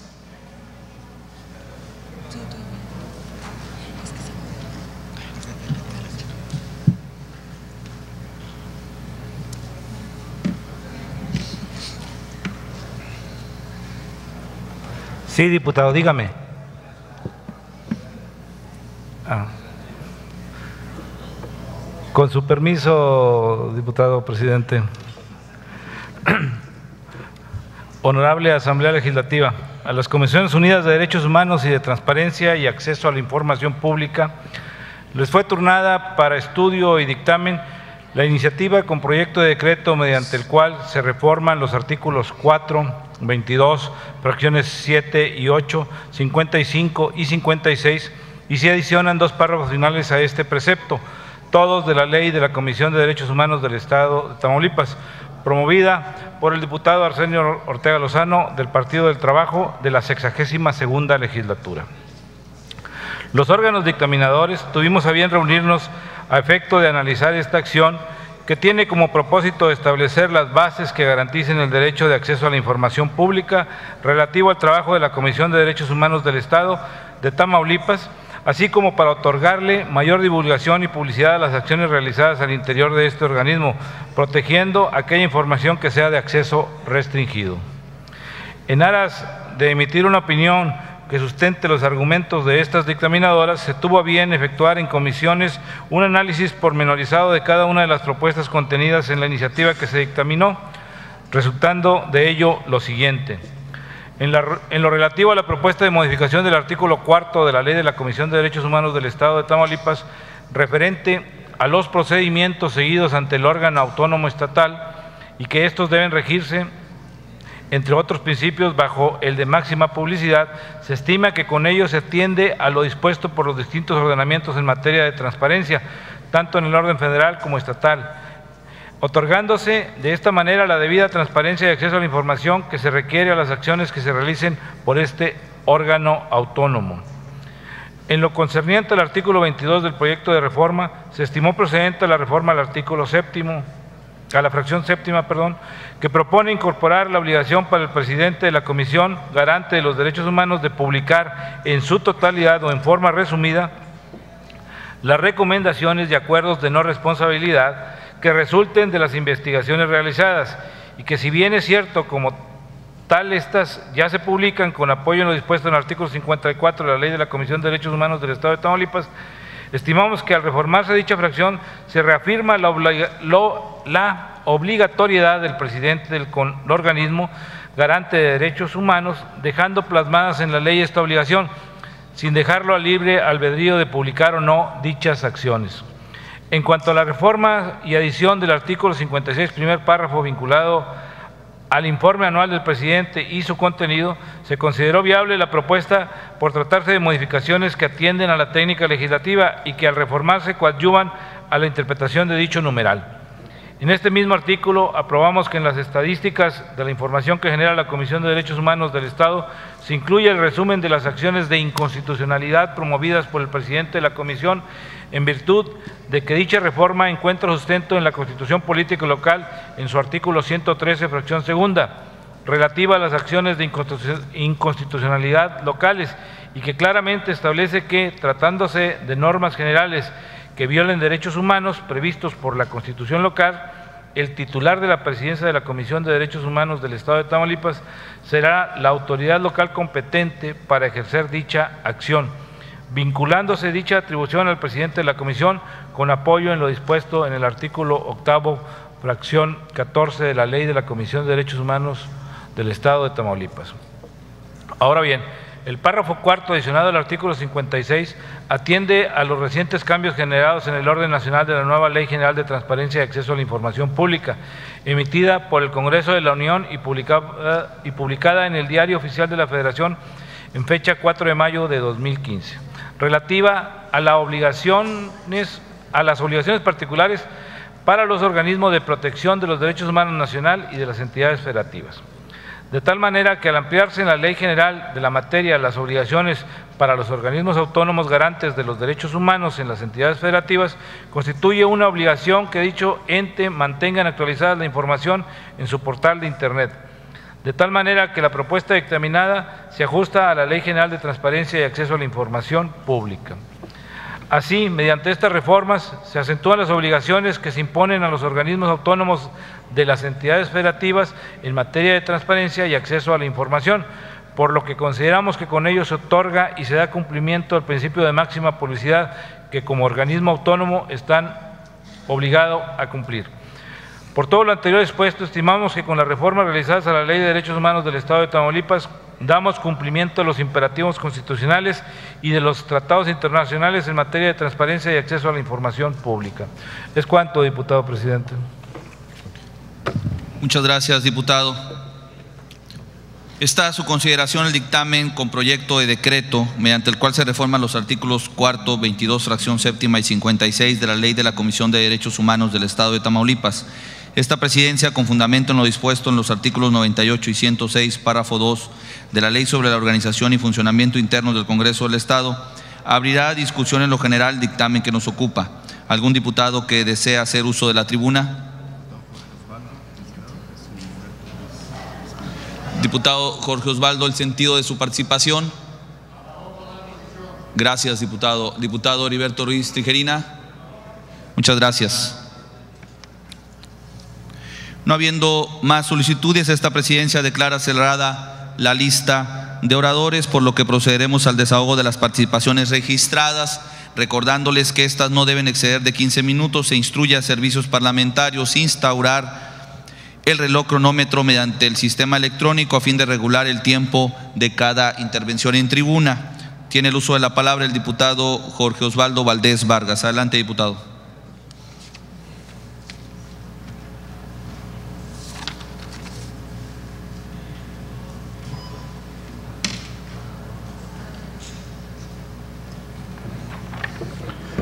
Con la venia de la mesa directiva y mis compañeras y compañeros. En la especie se dictamina una iniciativa formulada por el PT, por el Partido del Trabajo. La acción legislativa intentada, por una parte, busca fortalecer y perfeccionar la publicidad de los informes y recomendaciones del organismo protector de los derechos humanos en Tamaulipas, sin olvidarse de garantizar la protección de datos personales e información reservada. Por otra parte, contempla establecer que el titular de la mencionada comisión invariablemente acuda cada año en el mes de enero ante el Pleno Legislativo con el fin de rendir su informe general de actividades. Así era originalmente. El veredicto preparado es solo parcialmente favorable a la propuesta del PT. Se rechaza por las dictaminadoras que el presidente del referido organismo quede obligado a comparecer ante el cuerpo legislativo en pleno para rendir durante el mes de enero el informe anual de actividades. Tampoco es admitido que el informe anual de actividades, así como la emisión, el seguimiento y los resultados de las recomendaciones de ese organismo autónomo, no solo sean difundidos a través de su portal electrónico, sino también en los medios de comunicación masiva de mayor circulación de la entidad cuando tales recomendaciones sean rechazadas, parcial o totalmente incumplidas y no respondidas de manera injustificada. Para negarse a establecer que el Ombudsman Tamulipeco presente su informe anual de labores en sesión plenaria del órgano legislativo, aducen las dictaminadoras que a ello no obliga la Constitución General de la República, tratándose de las entidades federativas en la página 8. Para rechazar la divulgación mediática de los informes y de las indicadas recomendaciones de la Comisión, las dictaminadoras pretenden o pretestan que basta y sobra que el organismo de mérito lo haga vía Internet, en la página 11 y en la página 12 del dictamen. Pobre y lastimoso criterio muestran sobre estos dos aspectos de emisoras del dictamen en cuanto a derechos humanos, bien sabido que en el Código Fundamental de la Nación señala los mínimos que deben de garantizar por los tres órdenes de gobierno, pero no pone ni un solo obstáculo o traba alguna para que estos derechos humanos tengan en los ámbitos locales mejores elementos del ejército afirmativo, del ejercicio afirmativo. Pareciera existir un fuerte temor de introducir los cambios sustanciales en esta y otras materias de gran importancia para la sociedad tamaulipeca. A mí me preocupa que este sujeto no lo obliguen después de que se ha burlado de ustedes, compañeros. No ha venido, no ha dado la cara, se le ha citado por la comisión más de dos veces, o tres, o no sé cuántas, y no ha venido a dar la cara no solamente al Pleno Legislativo, no ha dado la cara a la Comisión de Derechos Humanos. Se ha burlado del Congreso, se ha burlado de este Poder Legislativo, pareciera ser que tiene más poder un secretario que todo el Poder Legislativo, cuando el Poder Legislativo es el que manda y es el que manda llamar a cualquier funcionario. Y él ni siquiera ha dado la cara, solamente declaraciones públicas y no es posible que esté aconteciendo esto. Y lo peor es que nos dejamos que se burlen del poder legislativo porque no se están burlando de ustedes diputados, se está burlando de un poder legislativo, este sujeto que se dice de la Comisión de Derechos Humanos. Yo quisiera ver un solo pronunciamiento público que haya hecho o una sola recomendación pública que haya hecho de la Comisión de Derechos Humanos en el tema de seguridad. Ante los hechos que han acontecido en los diferentes municipios de Tamaulipas, el señor no ha dado la cara, no ha dado una sola declaración, no ha dado una sola explicación. Y todavía nosotros lo premiamos de que no se le obligue a venir a este pleno a dar un informe. Si no le hace caso a los de la comisión y lo premian compañeros. Ese es, donde no estoy de acuerdo. Estoy de acuerdo obviamente en la iniciativa, pero en ese tema concreto de que no se le eh, dé formalidad para que venga a este pleno, eso no estoy de acuerdo. Yo creo, compañeros, y para la próxima semana voy a presentar una iniciativa y ojalá no se rajen, porque no deben de burlarse del poder legislativo, no se están burlando de ustedes, diputadas ni diputados, se está burlando de un poder. Y este se tiene que respetar el poder legislativo, así como se respeta el poder ejecutivo y el poder judicial. Este tiene que ver y tiene que respetarse este poder y tenemos nosotros la obligación de hacer respetar las leyes también. Es una obligación que tenemos, compañeros. Y yo los invitaría a reflexionar en ese tema. Gracias. Muchas gracias, diputado. Tiene el uso de la palabra el diputado Heriberto Ruiz Tijerina. Adelante, diputado.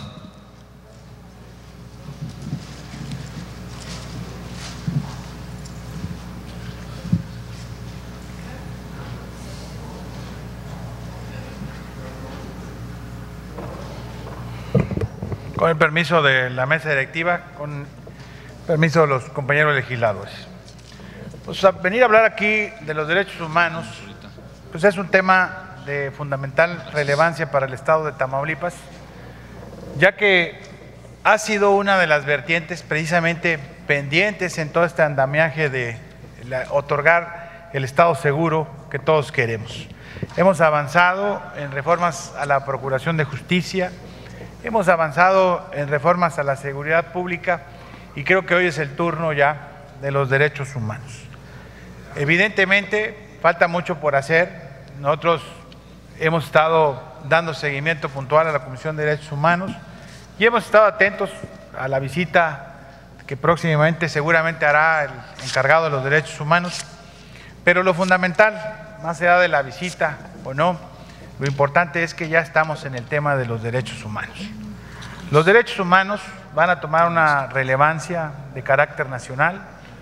Recientemente la Corte determinó una serie de acciones precisamente para aquellas personas que fueron atropelladas en el ejercicio de sus derechos fundamentales que garantiza la Constitución General de la República.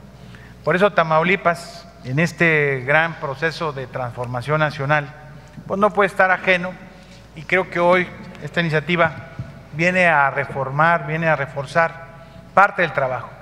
Que hay asignaturas pendientes, pues hay asignaturas pendientes como cualquier tema que se van perfeccionando día a día y que en ese sentido tendremos que seguir trabajando.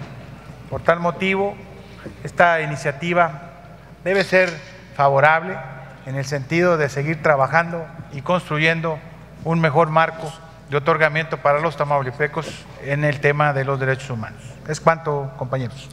Gracias, diputado. Se concede el uso de la palabra al diputado Arsenio Ortega Lozano y posteriormente el diputado Jorge Osvaldo Valdés Vargas.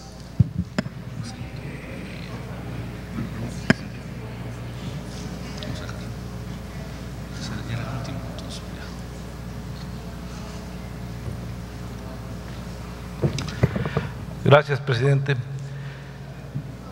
Efectivamente, hay atraso en derechos humanos. Ha habido poco a poco pequeñas modificaciones que se han realizado a través de diferentes legislaturas. Recordemos que en la Ley de Derechos Humanos era una designación con, ratificación del Congreso, primeramente para poder ser presidente de la Comisión de Derechos Humanos. Promovimos, como Partido del Trabajo, modificaciones a la ley y se logró que fuera a través de un concurso público con votación del Pleno para lograr ser presidente de la Comisión de Derechos Humanos. Son pequeños avances. No es lo ideal. Tendremos que proponer que no solamente sea un concurso, sino que la designación del presidente de Derechos Humanos sea por insaculación entre las mejores personas que hayan cubierto todos los requisitos para poder acceder a ese puesto. ¿Sí? ¿Por qué señalo esto? Porque bueno, son avances.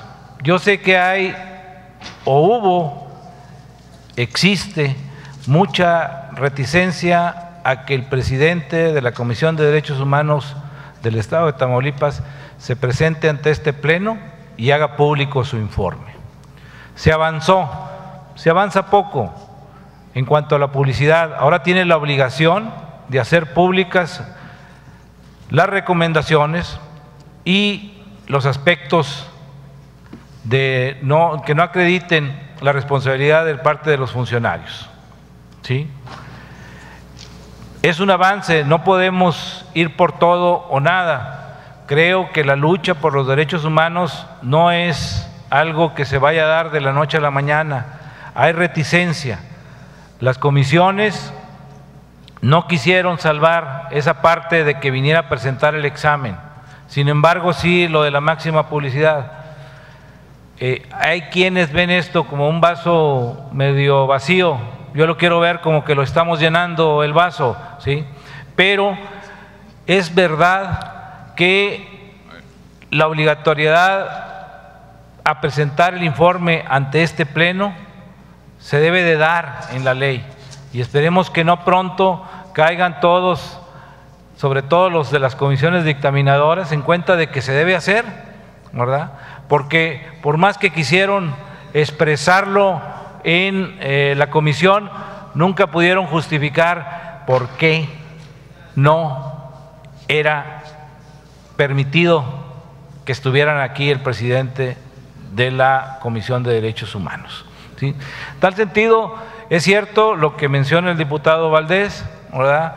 Yo creo que se debió de haber votado todo a favor, pero bueno, logramos algunas cosas. Es una lucha que vamos a seguir dando. Y repito, no solamente para que eh, se tenga la publicidad de los eh, asuntos de la Comisión de Derechos Humanos, sino para que venga y lo presente aquí y pueda tener en tiempo y forma también las eh, conclusiones de su trabajo, porque si bien es cierto, se le ha hecho una invitación para que venga a dárnoslas, ¿sí? a la Comisión de Derechos Humanos, las, no ha podido reunir la información, no la ha podido reunir. Eh, las últimas declaraciones que escuché por ahí en la prensa es de que no tiene el sistema, ¿verdad? Él y creo que más que todo es también la reticencia de parte de las autoridades que han sido recomendadas a entregar el informe correspondiente. Les pido su voto a favor a este pequeño paso que damos para la salvaguarda de los derechos humanos. Es cuanto. Muchas gracias, diputado. Se le concede el uso de la palabra al diputado Jorge Osvaldo Valdés Vargas. Adelante, diputado. Tiene el uso de la tribuna.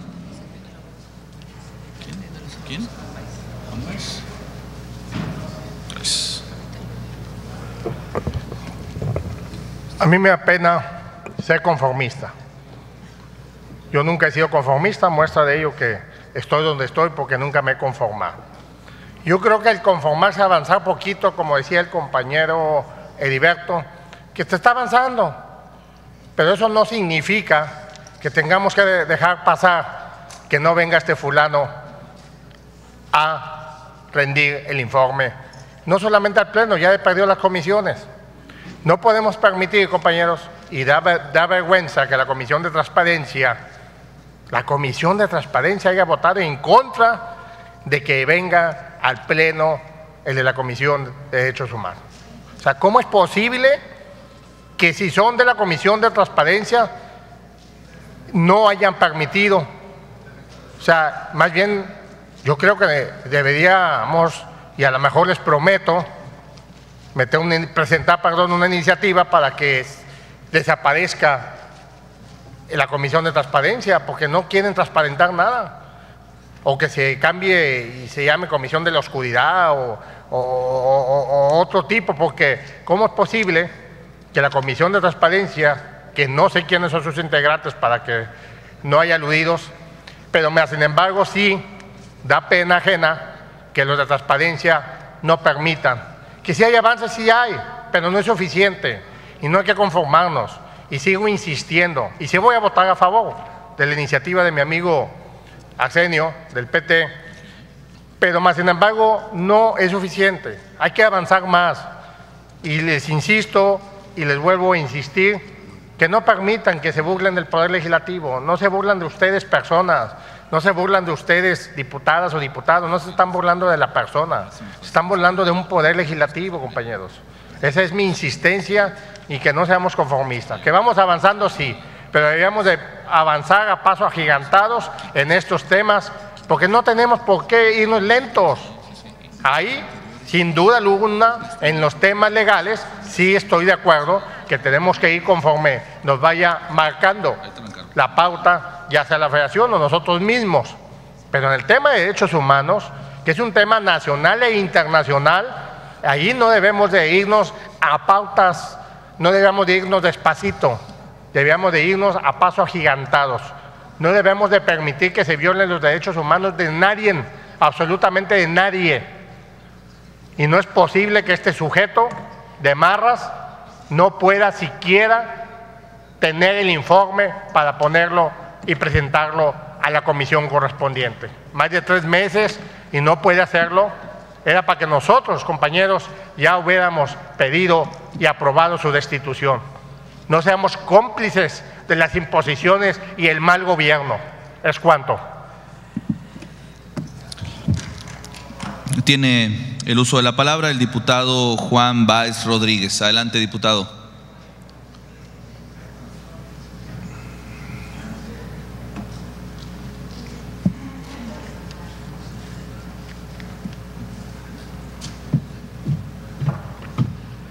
Con la venia de la mesa directiva. La iniciativa en discusión presentaba, si mal no recuerdo, nueve puntos que pedía incorporarse al marco legal de Tamaulipas. Con el beneplácito de las dos comisiones fueron aprobados siete.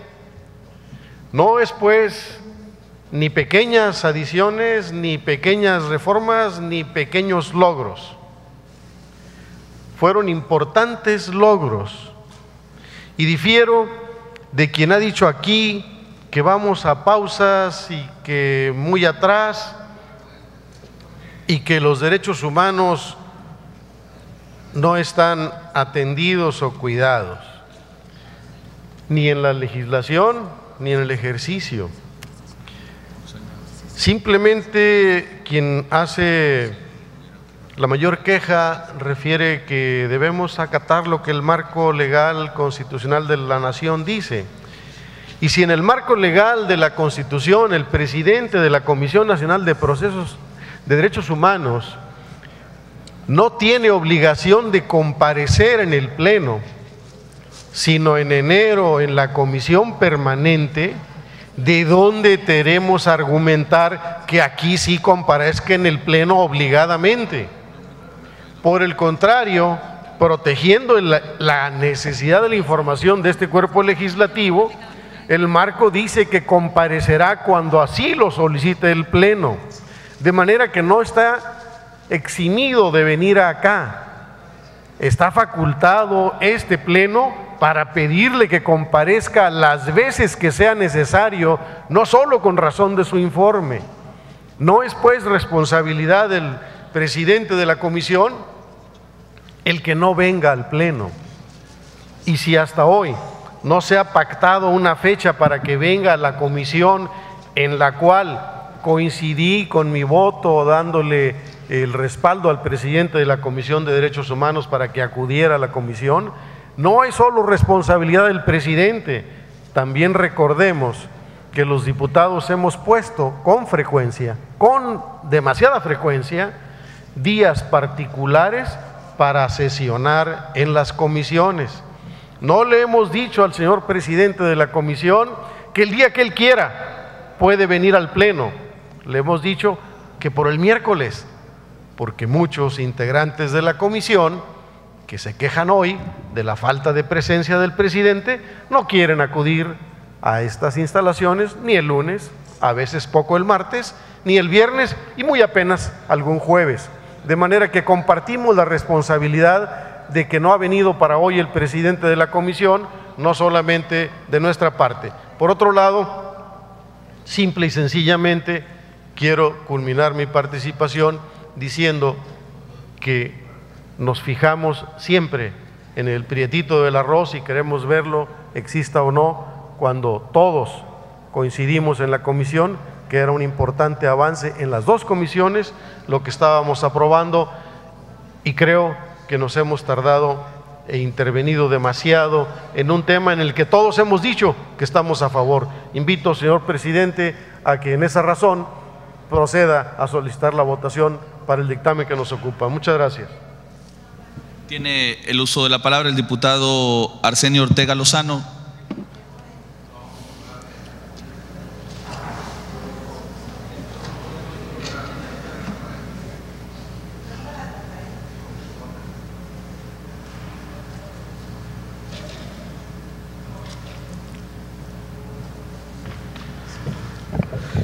Gracias, presidente.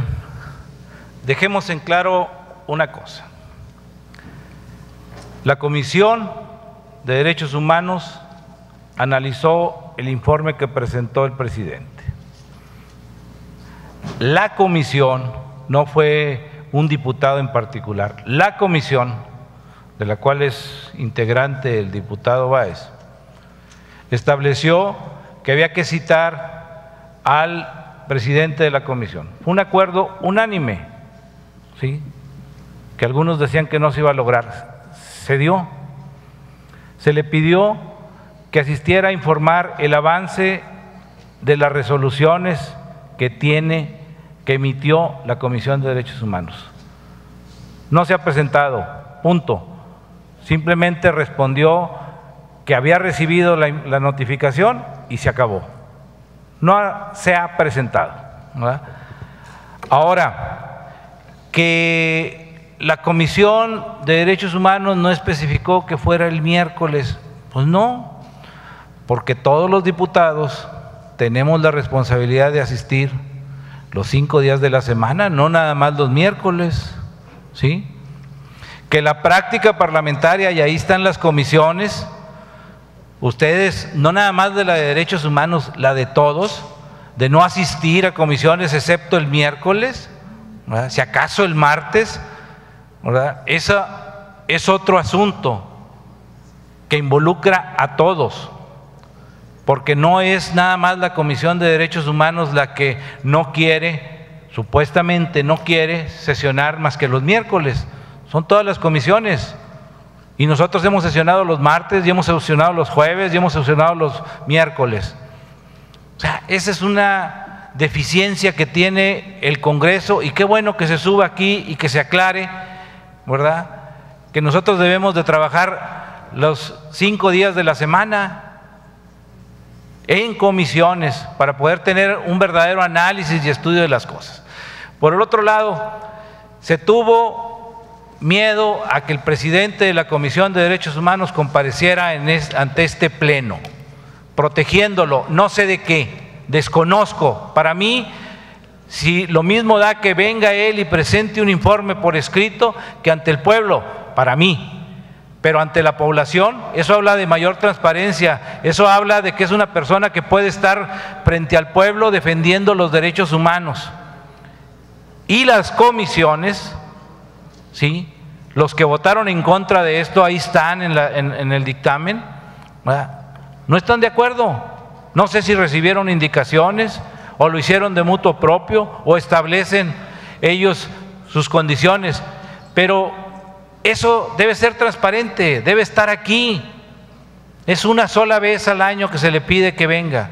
Y por supuesto que el Pleno está facultado para hacerlo venir cuantas veces lo considere necesario. Pero no podemos hacer que venga una vez al año a presentar su informe, menos lo vamos a poder citar. Si mañana presentamos un punto de acuerdo sobre esto, ustedes van a negarlo, van a negar que venga van a negar que comparezca.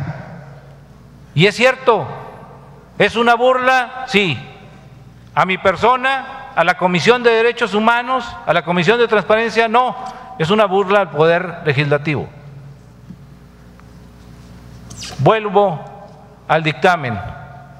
Efectivamente, yo considero que es avance. No estoy conforme y hemos estado en esta lucha varios tiempo.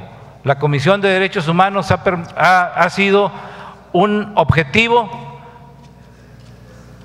del Partido del Trabajo porque la salvaguarda de los derechos humanos es muy importante para el desarrollo del país, del Estado. Es por eso que vamos a seguir insistiendo y en este momento nuevamente les pido el voto para la iniciativa. Es cuanto, gracias. Gracias, diputado. Tiene el uso de la palabra el diputado Jorge Osvaldo Valdés Vargas.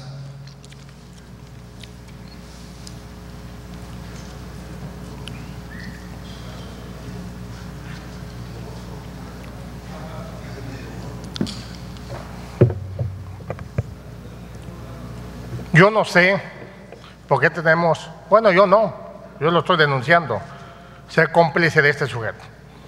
Y no es cierto que si no está en la Constitución, en la Carta Magna, y que si no hay un derecho, no lo podamos citar y no lo podamos poner.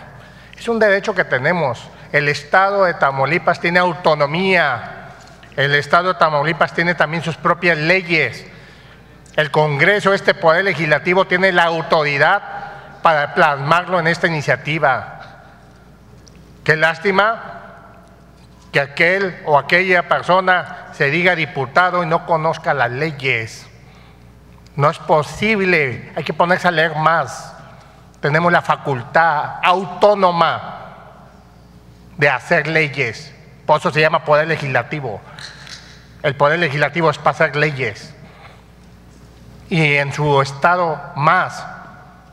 O sea que si la federación nunca va a citar a un funcionario estatal, digo nacional, ah, pues nosotros tampoco, porque allá no van a citarlo jamás, aquí tampoco. Vamos a emular los errores que cometen los de arriba. Vamos a hacer lo que los demás hacen. No, señores, para eso hay autonomía del Estado. Y sí tenemos la facultad de plasmarlo. Y sí tenemos la facultad de citarlo cuantas veces sea necesario, sí viene la ley sobre la organización interna del Congreso del Estado. Pero era preferible que se plasmara como obligación, porque sigo insistiendo, se ha burlado del poder legislativo, no se ha burlado de ninguno de ustedes como persona, se está burlando de ese poder legislativo. O sea que cualquier sujeto de marras, o qué es lo que esconde el fulano, o qué es lo que le saben algunos diputados que quieren ser cómplices de esa persona. ¿Cómo es posible que en lugar de ponerse a defender el poder legislativo, se pongan del lado de este sujeto de marras que no ha hecho nada? A mí me acaban de llegar, y se los puedo mostrar, inclusive ayer mismo me acaban de llegar quejas. Aquí está, de derechos humanos. Aquí está el correo, ayer me lo han mandado. Y así como esta, tengo infinidad de quejas que ha llegado de derechos humanos. Pero ¿cómo vamos a hablar con ese sujeto si ni siquiera tiene la capacidad no solamente de no venir, sino de no resolver ¿Qué esperamos nosotros? Perdón, ¿qué esperan los ciudadanos? Común y corriente. El ciudadano, si a los diputados los manda por un tubo, si a los diputados los hace como quiere, si al poder legislativo lo pisotea, ¿qué puede esperar un ciudadano? ¿Con quién se vaya a quejar el ciudadano que le han violado un derecho? ¿Con quién se va a quejar? Si a nosotros, Poder Legislativo, le vale más a ese cabrón, ¿qué podemos esperar? El pueblo tamaulipeco te dice quejar ante una violación de un derecho humano. No podemos, compañeros, ser cómplices. De veras, pónganse en el lado de los ciudadanos tamaulipecos que les son violados sus derechos, de las víctimas, de los familiares que han sido y que van y ponen quejas y no lo reciben, que van y ponen quejas y no les hacen caso, que van y tocan la puerta y no se la abren. Eso es lo que queremos ser cómplices de eso. ¿Estamos del lado de los delincuentes o estamos del lado del pueblo? Porque si no queremos que venga somos cómplices, estamos del lado de los delincuentes. Entonces no queremos que se actúe como se debe de actuar con los derechos humanos. Es cuanto, compañeros, los invito a la reflexión, los invito a la sensibilidad. Y aclaro, sí voy a votar a favor, pero estoy en contra de las imposiciones de este fulano. Honorable Asamblea, no habiendo más participaciones para el debate en lo general del proyecto de decreto que nos ocupa, con fundamento en el artículo 106, párrafo 3 de la Ley sobre la Organización y Funcionamiento Internos del Congreso del Estado, se abre a discusión en lo particular. Para tal efecto, instruyo a la diputada secretaria Erika Crespo Castillo que consulte si algún diputado desea participar en la discusión en lo particular para efectos de hacer el registro correspondiente.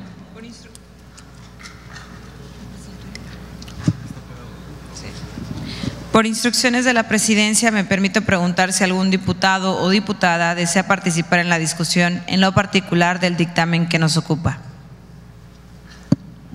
No habiendo quien desea hacer uso de la palabra, con fundamento en los artículos 106, párrafo 4 y 111, párrafo 1, 4 y 5 de la Ley sobre la Organización y Funcionamiento Internos del Congreso del Estado, así como del punto de acuerdo número 62-1. Esta presidencia lo somete a votación en lo general y en lo particular, declarando abierto para tal efecto el sistema electrónico durante un minuto, a fin de que los integrantes de este alto cuerpo colegiado emitamos el sentido de nuestro voto.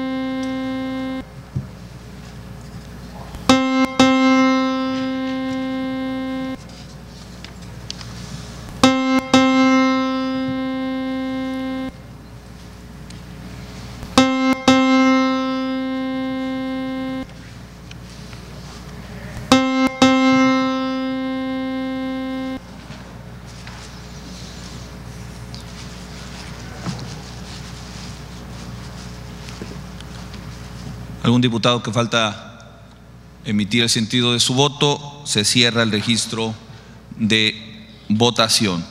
Honorable Asamblea Legislativa,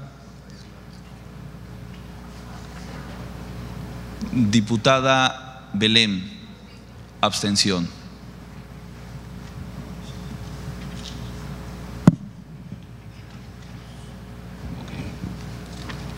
Honorable Asamblea Legislativa, de acuerdo con la votación emitida, el decreto ha sido aprobado por 26 votos a favor, votos en contra, un voto en contra del diputado Francisco Javier Garza de Cos y una abstención de la diputada Belén Rosales Puente. En tal virtud, expídase el decreto correspondiente y remítase al Ejecutivo del Estado para los efectos constitucionales. Prosiguiendo.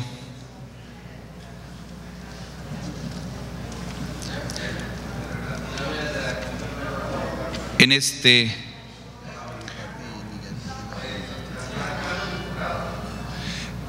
pasa es que pregunté, pero hago la corrección correspondiente. Pregunté si algún diputado hacía falta y, disculpen mi omisión, diputado. Eh, ¿El sentido de su voto, diputada? A favor. Muy bien. Dos votos más a favor del siguiente resolutivo, quedando en 28 votos a favor. Y reitero, sí, había 26 y más dos son 28 votos a favor. ¿El sentido de su voto? Ok. Reitero la contabilidad, 27 votos a favor, dos abstenciones. Usted, diputado Francisco Javier Garza de Cos, tres abstenciones. Muchas gracias, diputados. Prosiguiendo con el orden del día.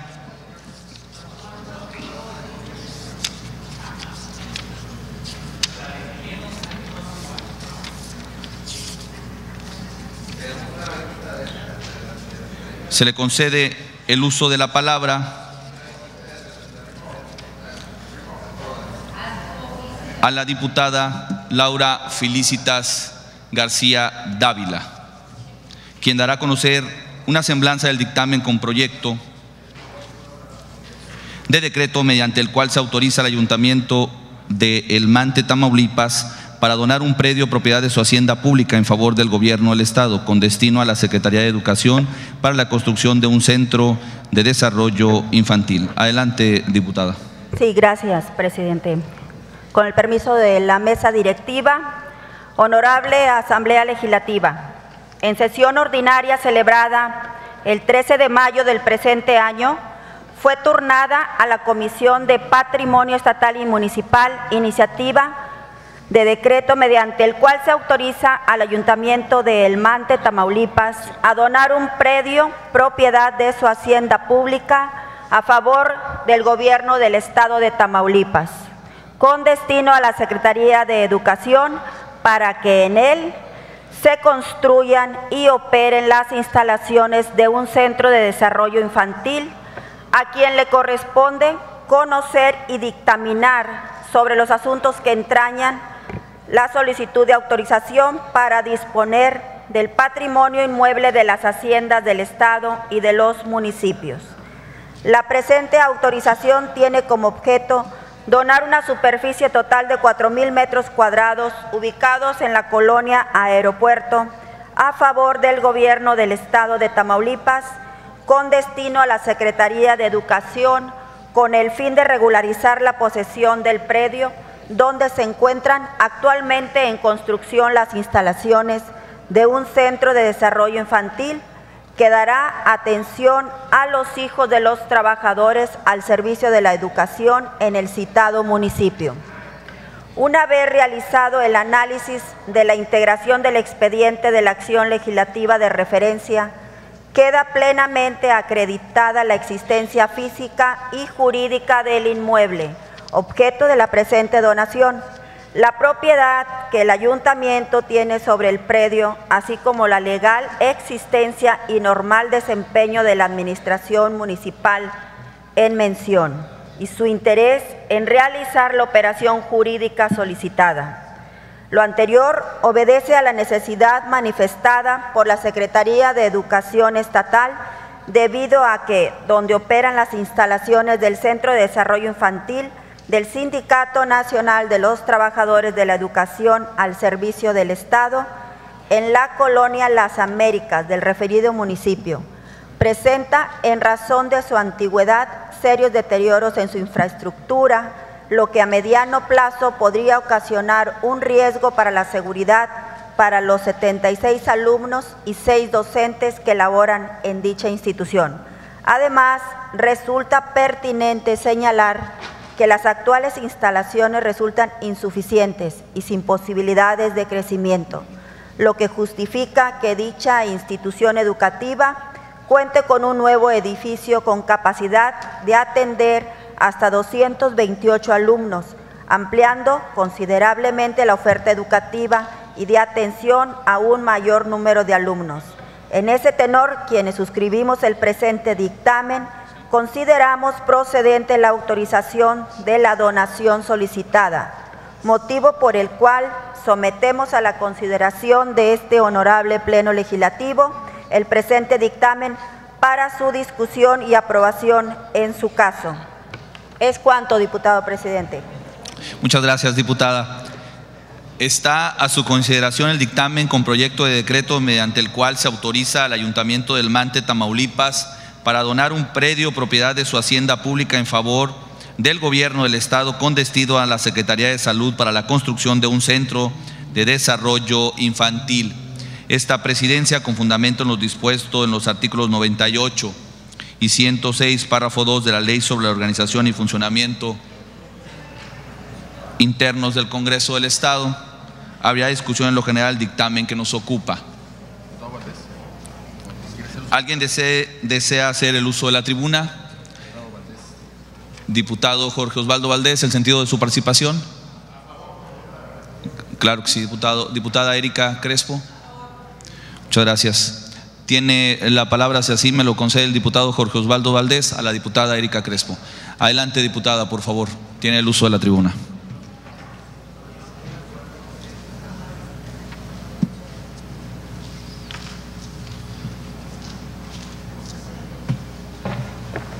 Gracias. Con el permiso de quien preside la mesa directiva, compañeras y compañeros legisladores. Desde el pasado 5 de marzo del 2014, en que se aprobó la reforma educativa, los integrantes de este honorable Congreso hemos fortalecido nuestro compromiso con la educación de nuestras niñas y nuestros niños. Y una de ellas es el tener espacios con las condiciones necesarias para favorecer en todos los sentidos cada uno de los procesos educativos. Es un compromiso que hemos venido reiterando, más cuando exigimos una verdadera educación de calidad en condiciones reales de esparcimiento y mejora a esta tarea que nos ocupa. El dictamen que se presenta beneficia a los hijos de mis compañeras y compañeros del Sindicato Nacional de Trabajadores de la Educación que desempeñan sus actividades en Ciudad Mante, Tamaulipas. En Nueva Alianza reconocemos la acción del citado municipio por apoyar a este sector importante de la población a partir de la donación del predio ubicado en la colonia aeropuerto con una superficie de 4 mil metros cuadrados al gobierno del Estado con destino de la Secretaría de Educación para la construcción de un centro de desarrollo infantil, mismo que asegurará y ampliará la calidad educativa en las niñas y los niños de este sector. Compañeras y compañeros legisladores, en el Grupo Parlamentario Nueva Alianza tenemos el compromiso de legislar en favor de las demandas sociales, primordialmente en el apartado educativo, debido a que es la educación la base para asegurar un futuro próspero para Tamaulipas. Un nivel educativo óptimo garantiza que todos tengan acceso a mejores oportunidades, lo cual incide directamente en los niveles de bienestar económico y social. En este sentido, es que nuestro voto será a favor del presente dictamen, porque con educación se garantiza el desarrollo, mismo que posibilita la generación de conocimientos, de oportunidades y de progreso. Es cuanto, diputado presidente. Muchas gracias, diputada. Tiene el uso de la palabra el diputado Jorge Osvaldo Valdés Vargas. Adelante, diputado. Tiene el uso de la tribuna.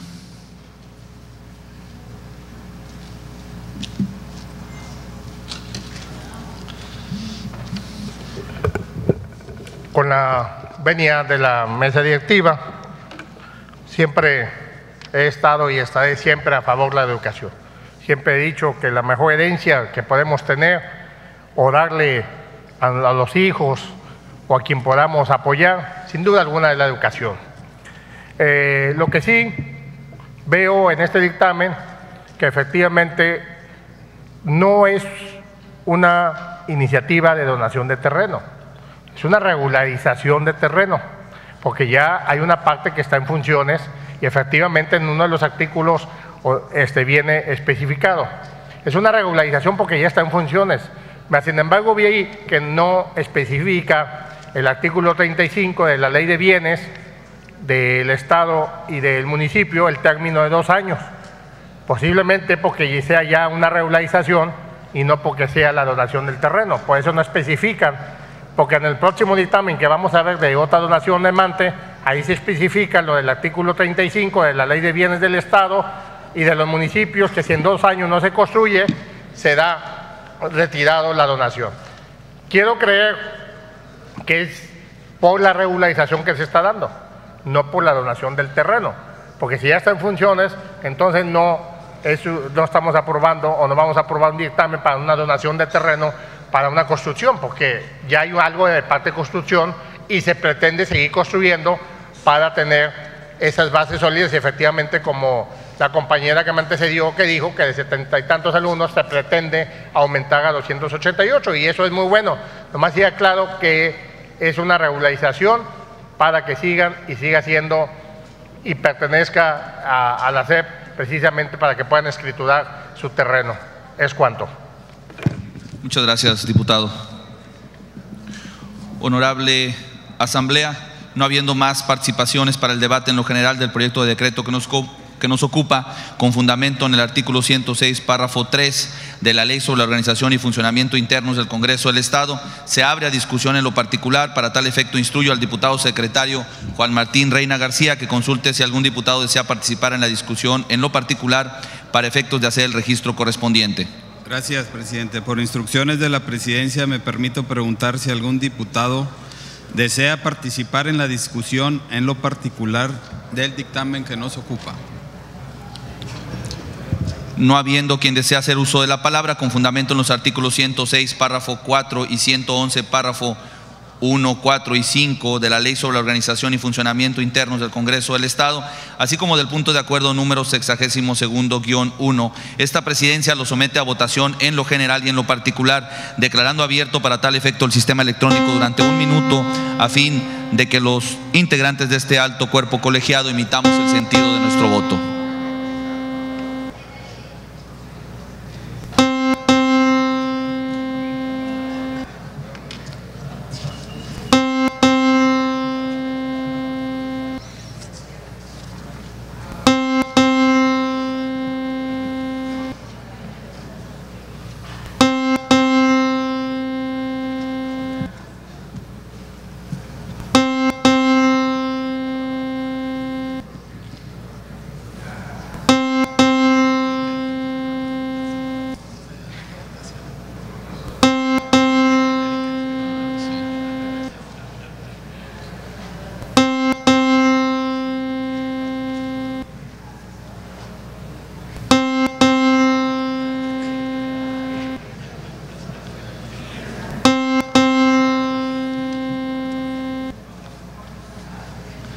¿Algún diputado, diputado Juan Rigoberto Garza Faz, el sentido de su voto a favor? Gracias, diputado.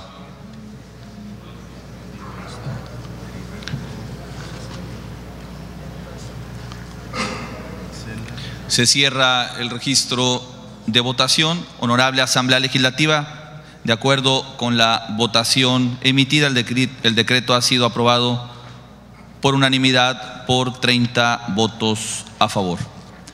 En tal virtud, despídase el decreto correspondiente y remítase al Ejecutivo del Estado para los efectos constitucionales.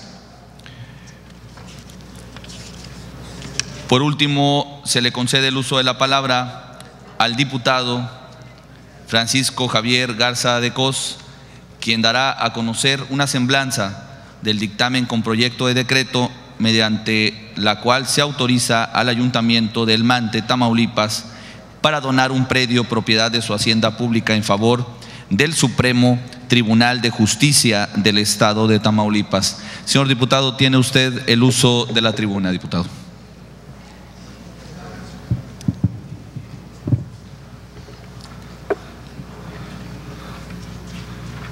Qué detallazo, diputado presidente. Puede empezar, señor diputado. Supremo Tribunal de Justicia del Estado, en sesión ordinaria celebrada el 13 de mayo del actual y turnada a la Comisión de Patrimonio Estatal y Municipal mediante oficio HCE diagonal SG diagonal AT-606 para su estudio y elaboración del dictamen correspondiente la iniciativa de decreto mediante la cual se autoriza al Ayuntamiento de El Mante para donar un predio propiedad de su hacienda pública en favor del Supremo Tribunal de Justicia del Estado de Tamaulipas. La iniciativa de referencia tiene por objeto autorizar al ayuntamiento citado a donar una superficie de una hectárea ubicada en los antiguos ejidos de Quintero, hoy Congregación Quintero, a favor del Supremo Tribunal de Justicia del Estado de Tamaulipas, con el propósito de edificar un palacio de justicia que alberga los juzgados de primera instancia, los menores, oficialía de partes y demás áreas administrativas requeridas en el ámbito de la impartición de justicia.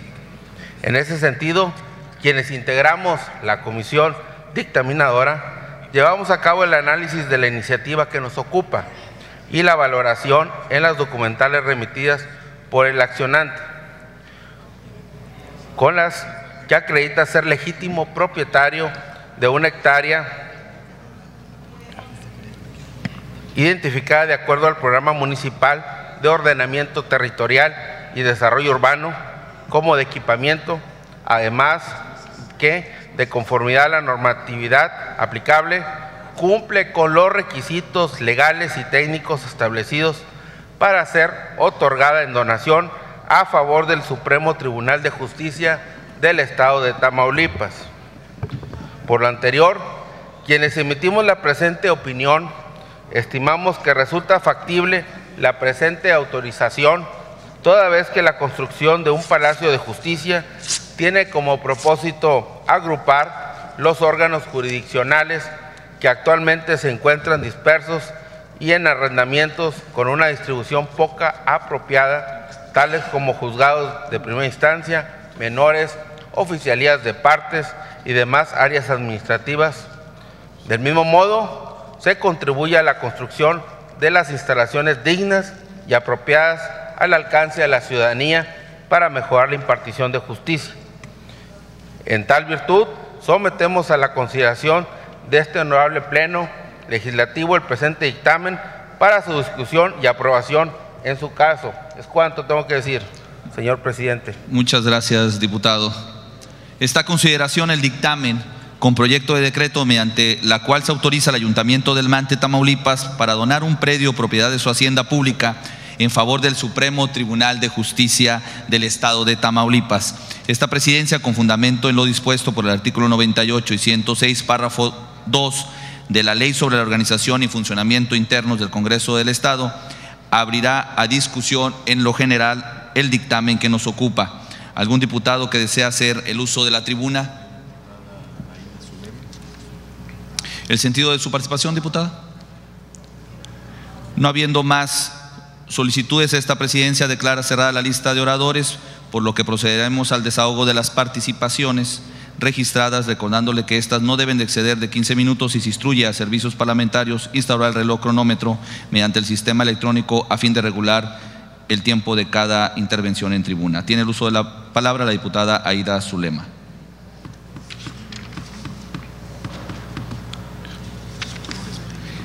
Adelante, diputada Aida Zulema Flores Peña. Gracias.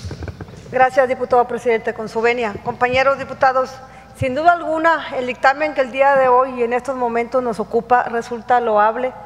Compañero Garza de Cos, gracias por la presentación del mismo. Y como abogada postulante debo decir que eh, esto implica una, un gran avance en la impartición y procuración de justicia. Quienes somos abogados postulantes vemos que hay mucho por hacer en tema de infraestructura. Creo que el que el día de hoy se vote favorablemente, como no tengo la menor duda que así se habrá de llevar a cabo, va a ser una justicia pronta y expedita tanto para quienes ocurren a los tribunales de, primera y jueces menores, y así como para quienes ocupan cargos dentro de la administración del Poder Judicial. Es cuanto, diputado presidente. Muchas gracias, diputada. Honorable Asamblea. No habiendo más participaciones para el debate en lo general del proyecto de decreto que nos ocupa, con fundamento en el artículo 106, párrafo 3 de la Ley sobre la Organización y Funcionamientos Internos del Congreso del Estado, se abre a discusión en lo particular. Para tal efecto, instruyo al diputado secretario Carlos Javier González Toral que consulte si algún diputado desea participar en la discusión en lo particular para efectos de hacer el registro correspondiente. Por instrucciones de la presidencia, me permito preguntar si algún diputado desea hacer uso de la palabra, en lo particular del dictamen que nos ocupa. No habiendo quien desea hacer uso de la palabra, con fundamento en los artículos 106, párrafo 4 y 111, párrafo 1, 4 y 5 de la Ley sobre la Organización y Funcionamientos Internos del Congreso del Estado, así como del punto de acuerdo número 62-1, esta presidencia lo somete a votación en lo general y en lo particular, declarando abierto para tal efecto el sistema electrónico durante un minuto, a fin de que los integrantes de este alto cuerpo colegiado imitamos el sentido de nuestro voto.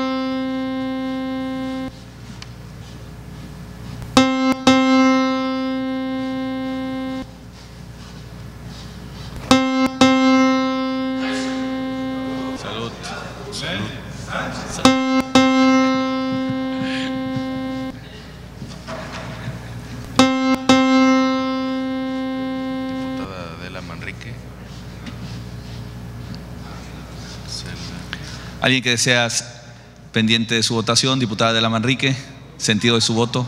Gracias, diputada. Diputado Jorge Valdés Vargas. Gracias, diputado. Se cierra el registro de votación. Honorable Asamblea Legislativa, de acuerdo con la votación emitida, el decreto ha sido aprobado por 27 votos a favor, por unanimidad. En tal virtud, despídase el decreto correspondiente y remítase al Ejecutivo del Estado para los efectos constitucionales. Compañeros diputados, a continuación desahogaremos el punto de asuntos generales. Al efecto, esta presidencia tiene registro previo de legisladores para intervenir en esta fase de la sesión, por lo que además se pregunta si alguno de ustedes desea- desea hacer uso de la tribuna. Diputada Ana María Herrera, diputado Heriberto Ruiz. Nada más. Ana María y Heriberto. Tiene el uso de la palabra, se le concede a la diputada Ana María Herrera Guevara.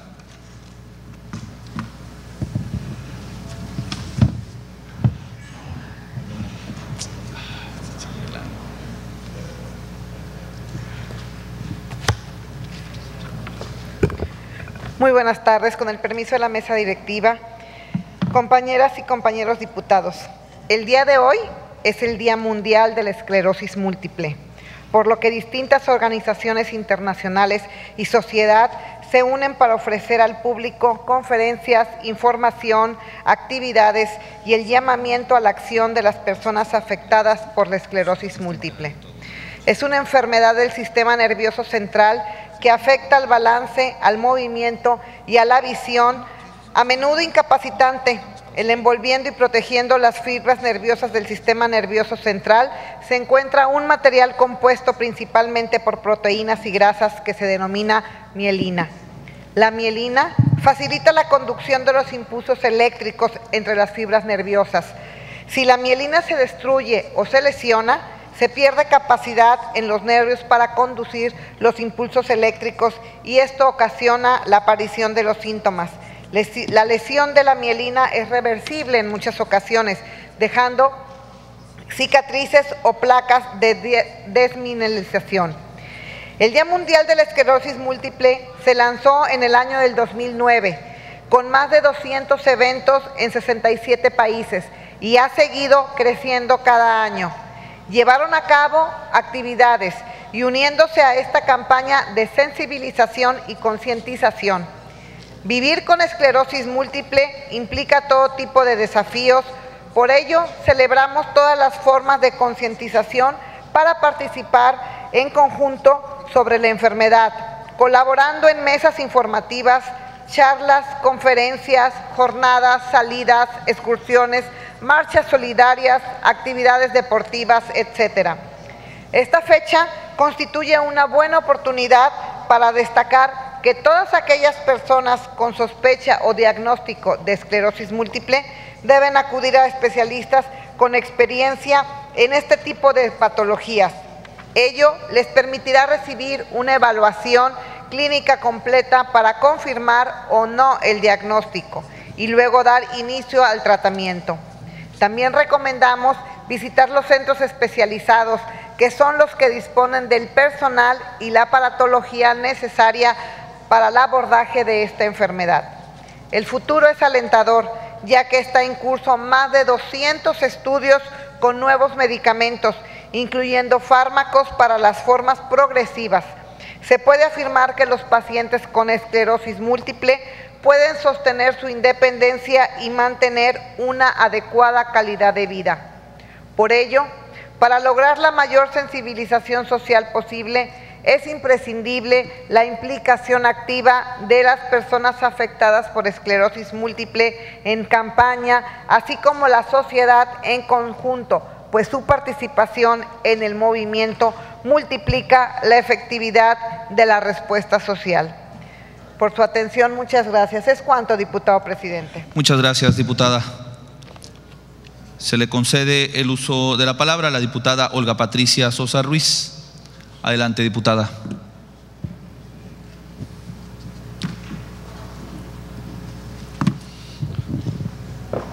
Muchas gracias. Con el permiso de la mesa directiva, diputado presidente, diputados secretarios, compañeras y compañeros diputados. El día de hoy hago uso de esta tribuna con el propósito de hacer de su conocimiento que este próximo 28 de mayo estaremos celebrando el Día Internacional de Acción por la Salud de las Mujeres, fecha establecida esencialmente como un recordatorio para abordar las múltiples causas de enfermedad y muerte que afectan todo el género femenino. Fue reconocido oficialmente en el Encuentro Internacional de Mujer y Salud realizado en San José, Costa Rica, en el año de 1987, en virtud de la propuesta presentada por la Red de Salud de las Mujeres Latinoamericanas, apoyada por la Red Mundial de Mujeres por los Derechos Reproductivos. Lo anterior debido a la evidente necesidad de denunciar y poner en evidencia la situación de deterioro que prevalecía en la salud de las mujeres al no recibir atención médica, situación cuya causal referían era derivada de las diferencias biológicas y sociales de las mujeres. Este año, y los defensores de los derechos de las mujeres y activistas de todas partes del mundo se movilizarán para observar y participar en el Día de la Acción por la Salud de las Mujeres. Por lo que a principios de este mes, más de 20 organizaciones internacionales, regionales y nacionales lideradas por Women's Global Network for Reproductive Rights llevaron a cabo el relanzamiento de la campaña con el propósito de pedir a los gobiernos y comunidades internacionales que aseguren una visión inclusiva y centrada en los derechos humanos con relación a la salud sexual y reproductiva de las mujeres y niñas en todos los países del mundo.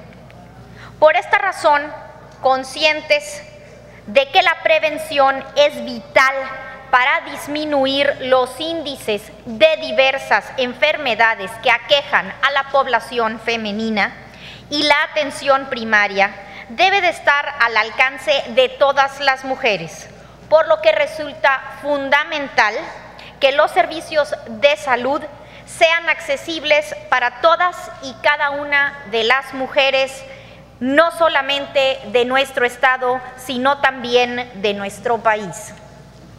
Como representantes del pueblo tamaulipeco, nuestro compromiso es mayor, ya que debemos de participar de manera activa y decidida con finalidad de que todas las mujeres de nuestro pueblo, aunque vivan en las comunidades más alejadas, cuenten con los servicios de salud y que ésta sea confiable y que permita en un determinado momento evitar el deterioro de su salud.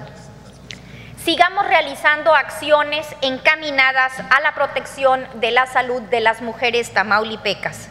Presentemos iniciativas dirigidas a fortalecer este rubro tan importante mediante la cultura de la prevención o el otorgamiento de mayores recursos al presupuesto de la salud. Muchas gracias, diputado presidente. Es cuanto tengo que decir, compañeros y compañeras. Gracias, diputada. Se le concede el uso de la palabra al diputado Heriberto Ruiz Tijerina. Adelante, diputado.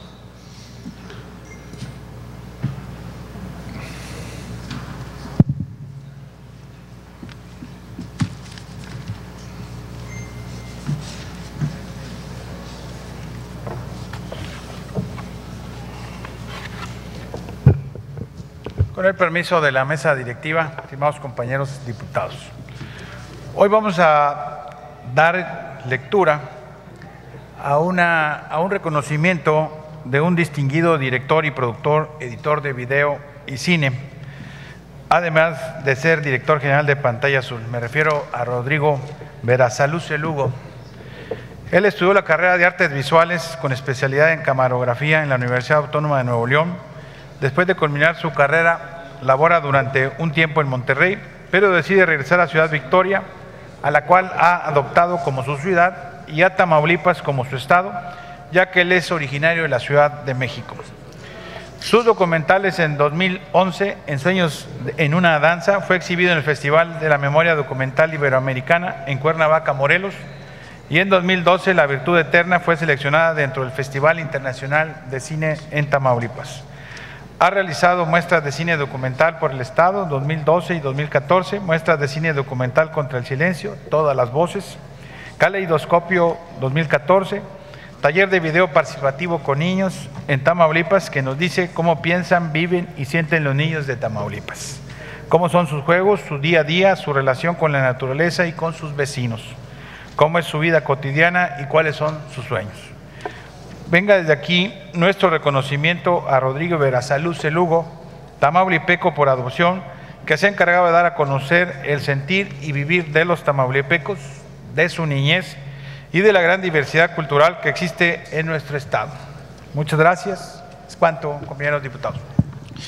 Muchas gracias, diputado. Agotados los puntos del orden del día, se clausura la presente sesión, siendo las dos horas con 46 minutos, declarándose válidos los acuerdos tomados y se cita para la Junta previa que tendrá verificativo el día 1 de junio del actual a partir de las 17 horas. Que tengan todos buenas tardes, buen provecho.